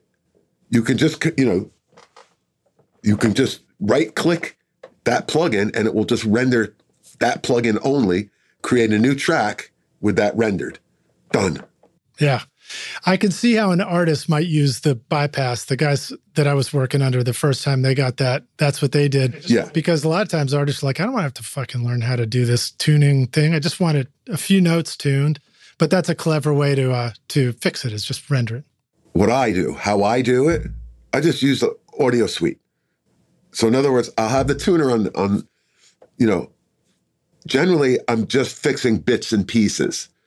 You, you, know what I mean? So I'm not tuning the whole track, and if, unless I have to tune the if I have to tune the whole track, then I'll just put the plug-in in.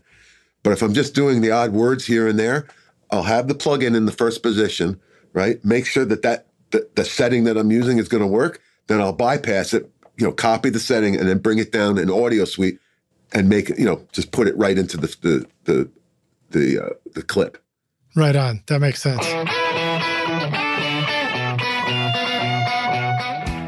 Do you ever feel like the time that you've spent watching YouTube videos, trying out mix tricks, and tweaking version after version of your mixes has gotten you nowhere? Have you been looking for a simple, straightforward, step by step process for creating a pro mix that won't take you years to learn? What if you could have a Grammy winning mix engineer who understood all your mixing struggles and could coach you through them? If you struggle with any of these questions, then the Ultimate Mixing Masterclass is just just for you. Now you can discover the proven step by step mix system from Grammy winning mixer Craig Alvin for consistently creating a pro quality mix from your home studio that will sound amazing everywhere. Listen to this quote from one of our students, David. Quote, absolutely the most informative and helpful block of information and mentoring on the mix process that I've ever been a part of. That was like sitting behind a mix engineer for years, watching and picking up tips along the way, but condensed into a six to seven hour session. Close quote. Look, I'm so confident that this will take your mixes to the next level that if you can't get a killer mix within 30 days, I'll give you a full refund, no questions asked. So if you're ready to take your mixes to Grammy winning quality, then go to ultimatemixingmasterclass.com and start now by checking out the free preview of the ultimate snare mixing trick. And I'll see you at the front row table of the Grammys.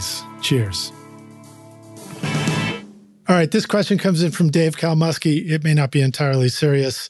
He said, since Chris is also known for being first on a plane occasionally, are you perhaps first on the helicopter?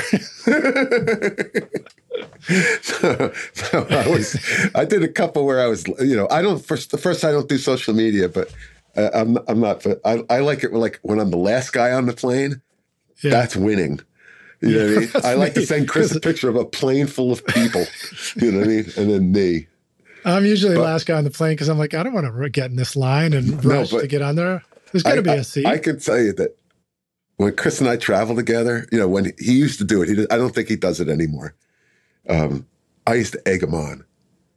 You know, like I used to, because because you know, like I we I did a trip one time. It was Chris and, and and his daughter, and she was just mortified. But I was going, I go, no, no, man, you got to make a, joke out of it, man. Because watching, because Chris will like he'll like knock little old ladies down, you know, to be the first one, you know. So I'm like, Chris, man, you gonna let that guy cut in front of you, you know, because that's just what we do. But yeah, it's yeah, it's you, awesome. You, you got to give your older brother a hard time for all those headlocks he had you. That's right. right. That's right. but no, he's Chris is he's awesome with the the whole first on thing was it was pretty funny. I think know? Chris has got a great sense of humor, man. Um, all right, so so this question comes in from Roger Allen Nichols. Um, he said, there's a couple of parts to it. Um, with all the changes in budgets and advancements in Pro Tools, how much do you work in the box? I think you you answered that question so far pretty much. But if there's anything more you want to say about that, feel free. My console, first of all, you know, I've worked my entire career on this console on on the SSL 4000 series. You know, I, I pretty much 99% of what I've ever done has been with this console. So part of the reason why I have it is just out of convenience to me. You know, its layout, where the speakers are, are you know, the, the, the, where the speakers sit, you know, in reference to where I sit, you know, the volume control, all that shit. It's just, it's comfort. Yeah. The con, look, don't get me wrong. The console has an amazing sound and I figured out how to maximize the analog path that I'm running through digital audio through so that I get the benefit of using the console. But 99.9% of what I do is all plug-in based, and the console is used more as a mastering tool. And then again, the one thing mainly is is volume rides. So again, there's still once I've hit the sweet spot, getting the cons getting the drums into the console, right? I can't raise them in Pro Tools because I'll start to clip. So I have to use the console automation. So Right. It's almost like an additional headroom. Correct. So again, the console is really more of like a treated like a mastering feature feature. And and Pro Tools I use is like a multi-track on steroids. Yeah, yeah. All right. Well, that answers his second part of his question, which is, are you summing externally from Pro Tools? I am. So yeah, yeah. All right. And now his next one is, um, do you use the Blackline Bluey 1176? Yeah, I do. I think it sounds amazing. Right on. And then my addition to that question is what tips do you have for us when we're doing lots of vocal compression we start to get into crazy s's and stuff like that? How should we deal with that stuff? Right. So if you're if you're if you if you if you've recorded right so when you get into heavy compression the singer now sounds like he has asthma. Right. His breaths are you know as loud as the vocal. So what you do is you clip gain the breaths. And it's usually the sweet spot is usually 20 dB. So it depend. I mean, that's 20 dB based on my compression. So right. Um, I'm a big fan. I love the BF76 plugin, which is the a- a- right on. Avid. The, it's the 1176. It's the very you know like it's modeled you know 25 years ago. But yeah, there's just some, we got. There's just something about that plugin and the way that it spits. You know, that I really like. So, and for me, it's a you know four to one ratio, quickest attack, quickest release, and then the amount of compression is is super easy. Just turn the input knob up all the way, and you got it. And then adjust the output to to be at the level you need it to be. But again, it brings up all that background noise, so you have to go through and. So at that setting, it's a 20 dB clip down, you know, clip gain down of your breaths, and you put a little crossfade on the front. And if you're having issues with S's or anything that's that like a, a K where the attack is too much, just tab the transient and put a soft a fade on it, and it will just trim enough off of it. And the same with an S.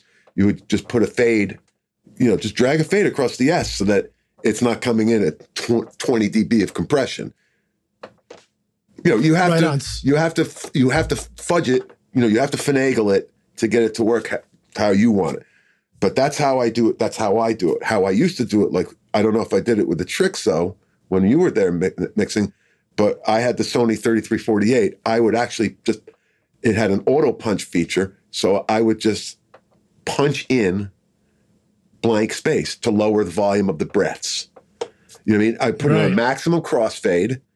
You know what I mean? I would audition it and made sure it worked good, and then I would literally, it would it it wasn't enough to erase it. It was just enough to lower the level of it. Yeah, that was another thing I learned. So you had me off to the left, and I was running a Pro Tools rig and editing and getting tracks ready to feed over to you.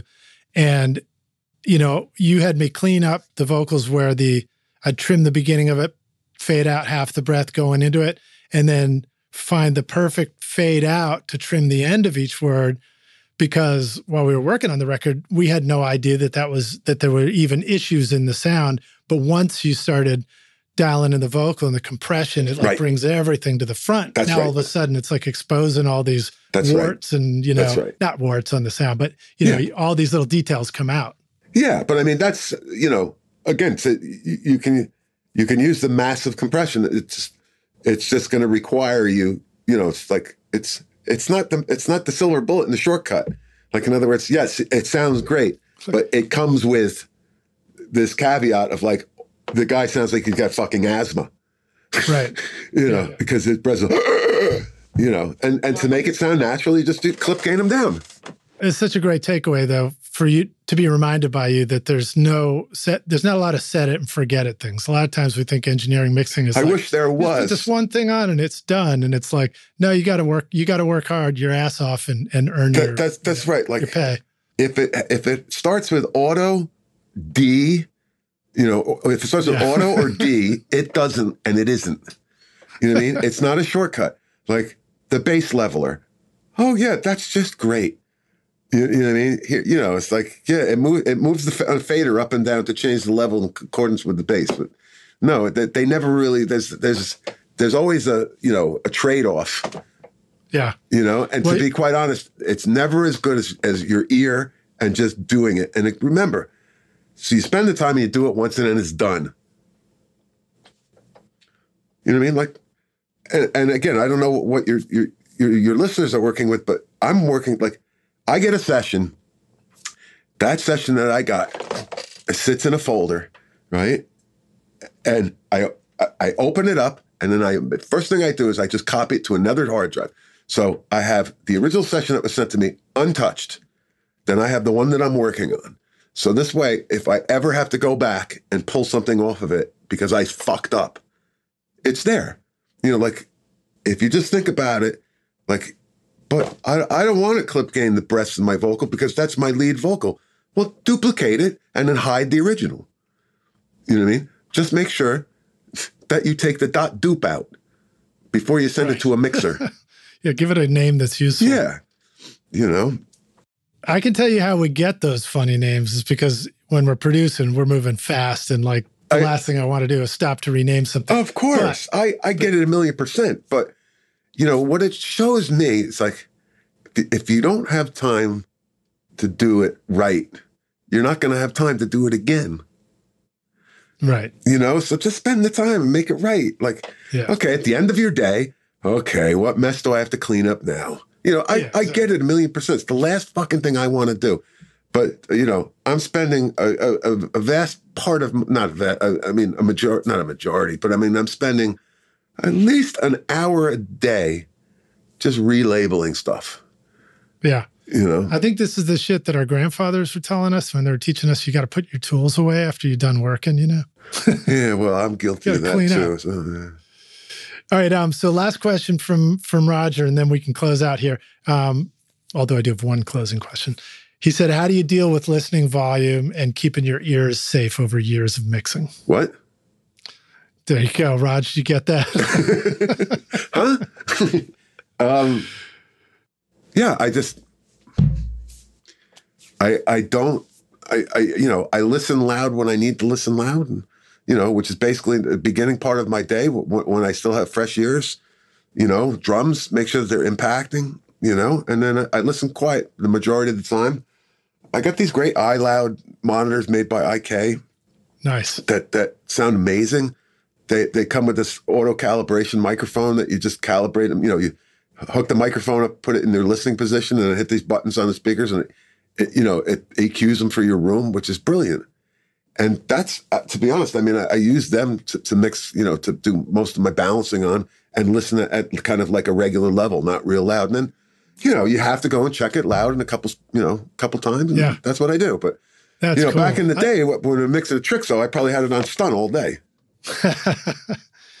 you know what? It's, it was fun to hear. That's all I can say about it. But of course, I was just a young kid sitting there cranking shit up anyway.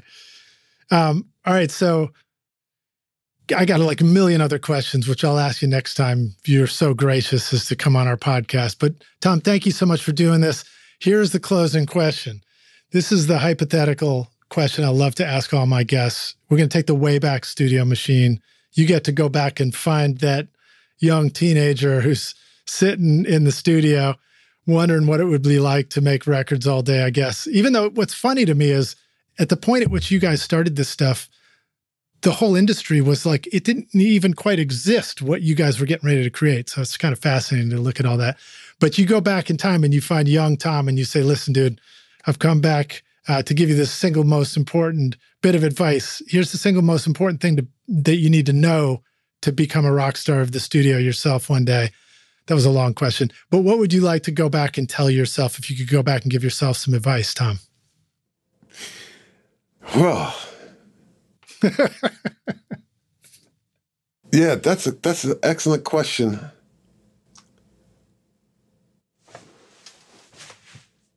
you know, I, I, immediately am going towards projects that I've fucked up.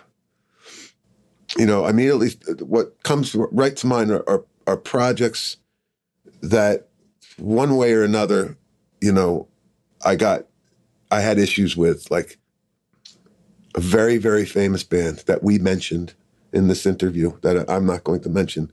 You know, they they they they wanted me to mix an album and the album actually turned out to be an amazing album by them. You know, one of their better albums. And uh, when I went out to lunch with him, we went had lunch at a sushi restaurant with the guitar player, very famous guitar player, and the, the very famous producer. And it was a sushi restaurant. And I proceeded to get drunk. I, I, don't know what the fuck I was thinking, but I got drunk at lunch and I blew that gig. And, mm. and I regret it. You know, I was like, fuck. you know, I think I'm a kinder, gentler Tom Lord-Alge than I was 25 years ago, you know, and, and I think, you know, remember that we're here to serve the music. It's not about us. You know, back then I was so slammed and busy with work that I, I would just, as quickly as I could rush the people out of the control room and, and approve the mix, I would. And uh, I, re- I regret that. And I've apologized to a lot of clients that I've worked with. I said, I- am sorry that I did that, and here's why I did it, and I won't do it again. You know, just remember that we're here to serve the music, you know, and at the end of the day, it's not our record and it's not about us. It's about the music. It always is about the music. Yeah. You know, if you, if you go into that like that, then you'll be all right.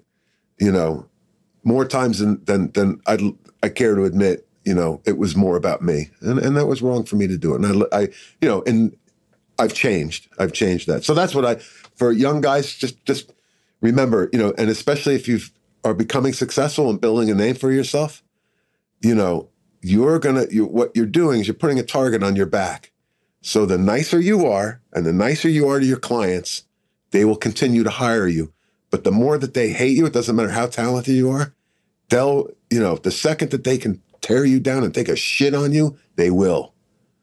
You know what I mean? But if you're a nice guy and treat them with respect and the dignity that they deserve, you're going to be okay and you'll do just fine. It's not about you, it's about the music. That's great, man. Great advice. Deep stuff. Um, and it reminds me that at the end of the day, we're all just listeners. We're all just listening. That's right. That's right. Um, well, Tom, thank you so much, man. What an honor to hang out with you really, really gracious of you to come uh, hang out with us for two plus hours talking about making records. Yeah, a great time.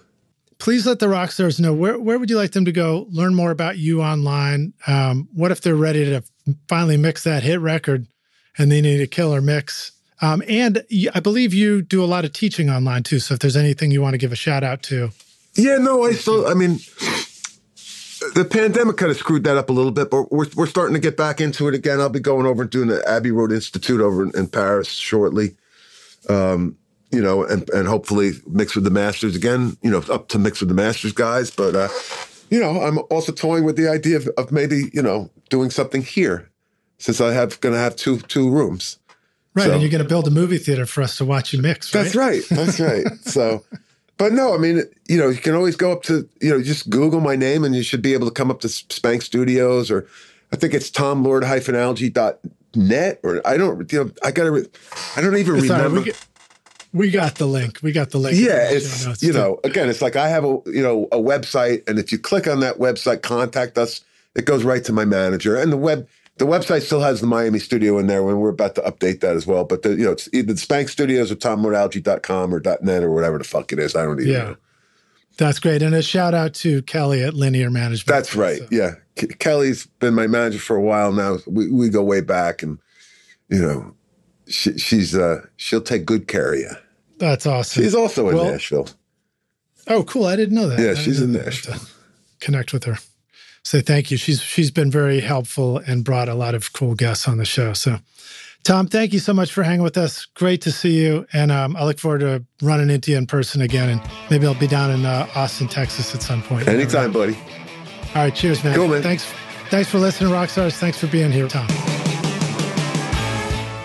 Thanks so much for listening to Recording Studio Rockstars. If you enjoyed the show and want to help make it better, then please share this episode with your friends on social media and leave a rating and review on iTunes to help the podcast reach more rock stars like yourself. You can click directly over to iTunes or go to rsrockstars.com slash review for an easy explanation. And remember to hit the subscribe button to keep up with weekly episodes. And if you're ready to make your best record ever now, then head over to Recording Studio Rockstars Academy, where you can start with my my free course at mixmasterbundle.com. Thanks so much for listening, and thanks for being a rock star. I'm Lij Shaw, and this is Recording Studio Rockstars. Now, go make great music. Recording Studio Rockstars would like to give a big thank you to our awesome sponsors who help make this episode possible. OWC, Lewitt, Adam Audio, iZotope, and Spectra 1964. And remember, at izotope.com slash rockstars, use the coupon code ROCK10 for 10% off any plugin purchase. If you enjoyed recording Studio Rockstars, then please check out our sponsors using the link in our show notes because it's a great way to help support this show. These are all things I highly recommend for your studio. They're going to help you make your best record ever. I would also like to thank our fantastic team here at Recording Studio Rockstars, Vlad Weselchenko and Braden Stremming for additional podcasts and video production. Thanks so much for listening, rock stars, and we'll see you in the next episode. Cheers.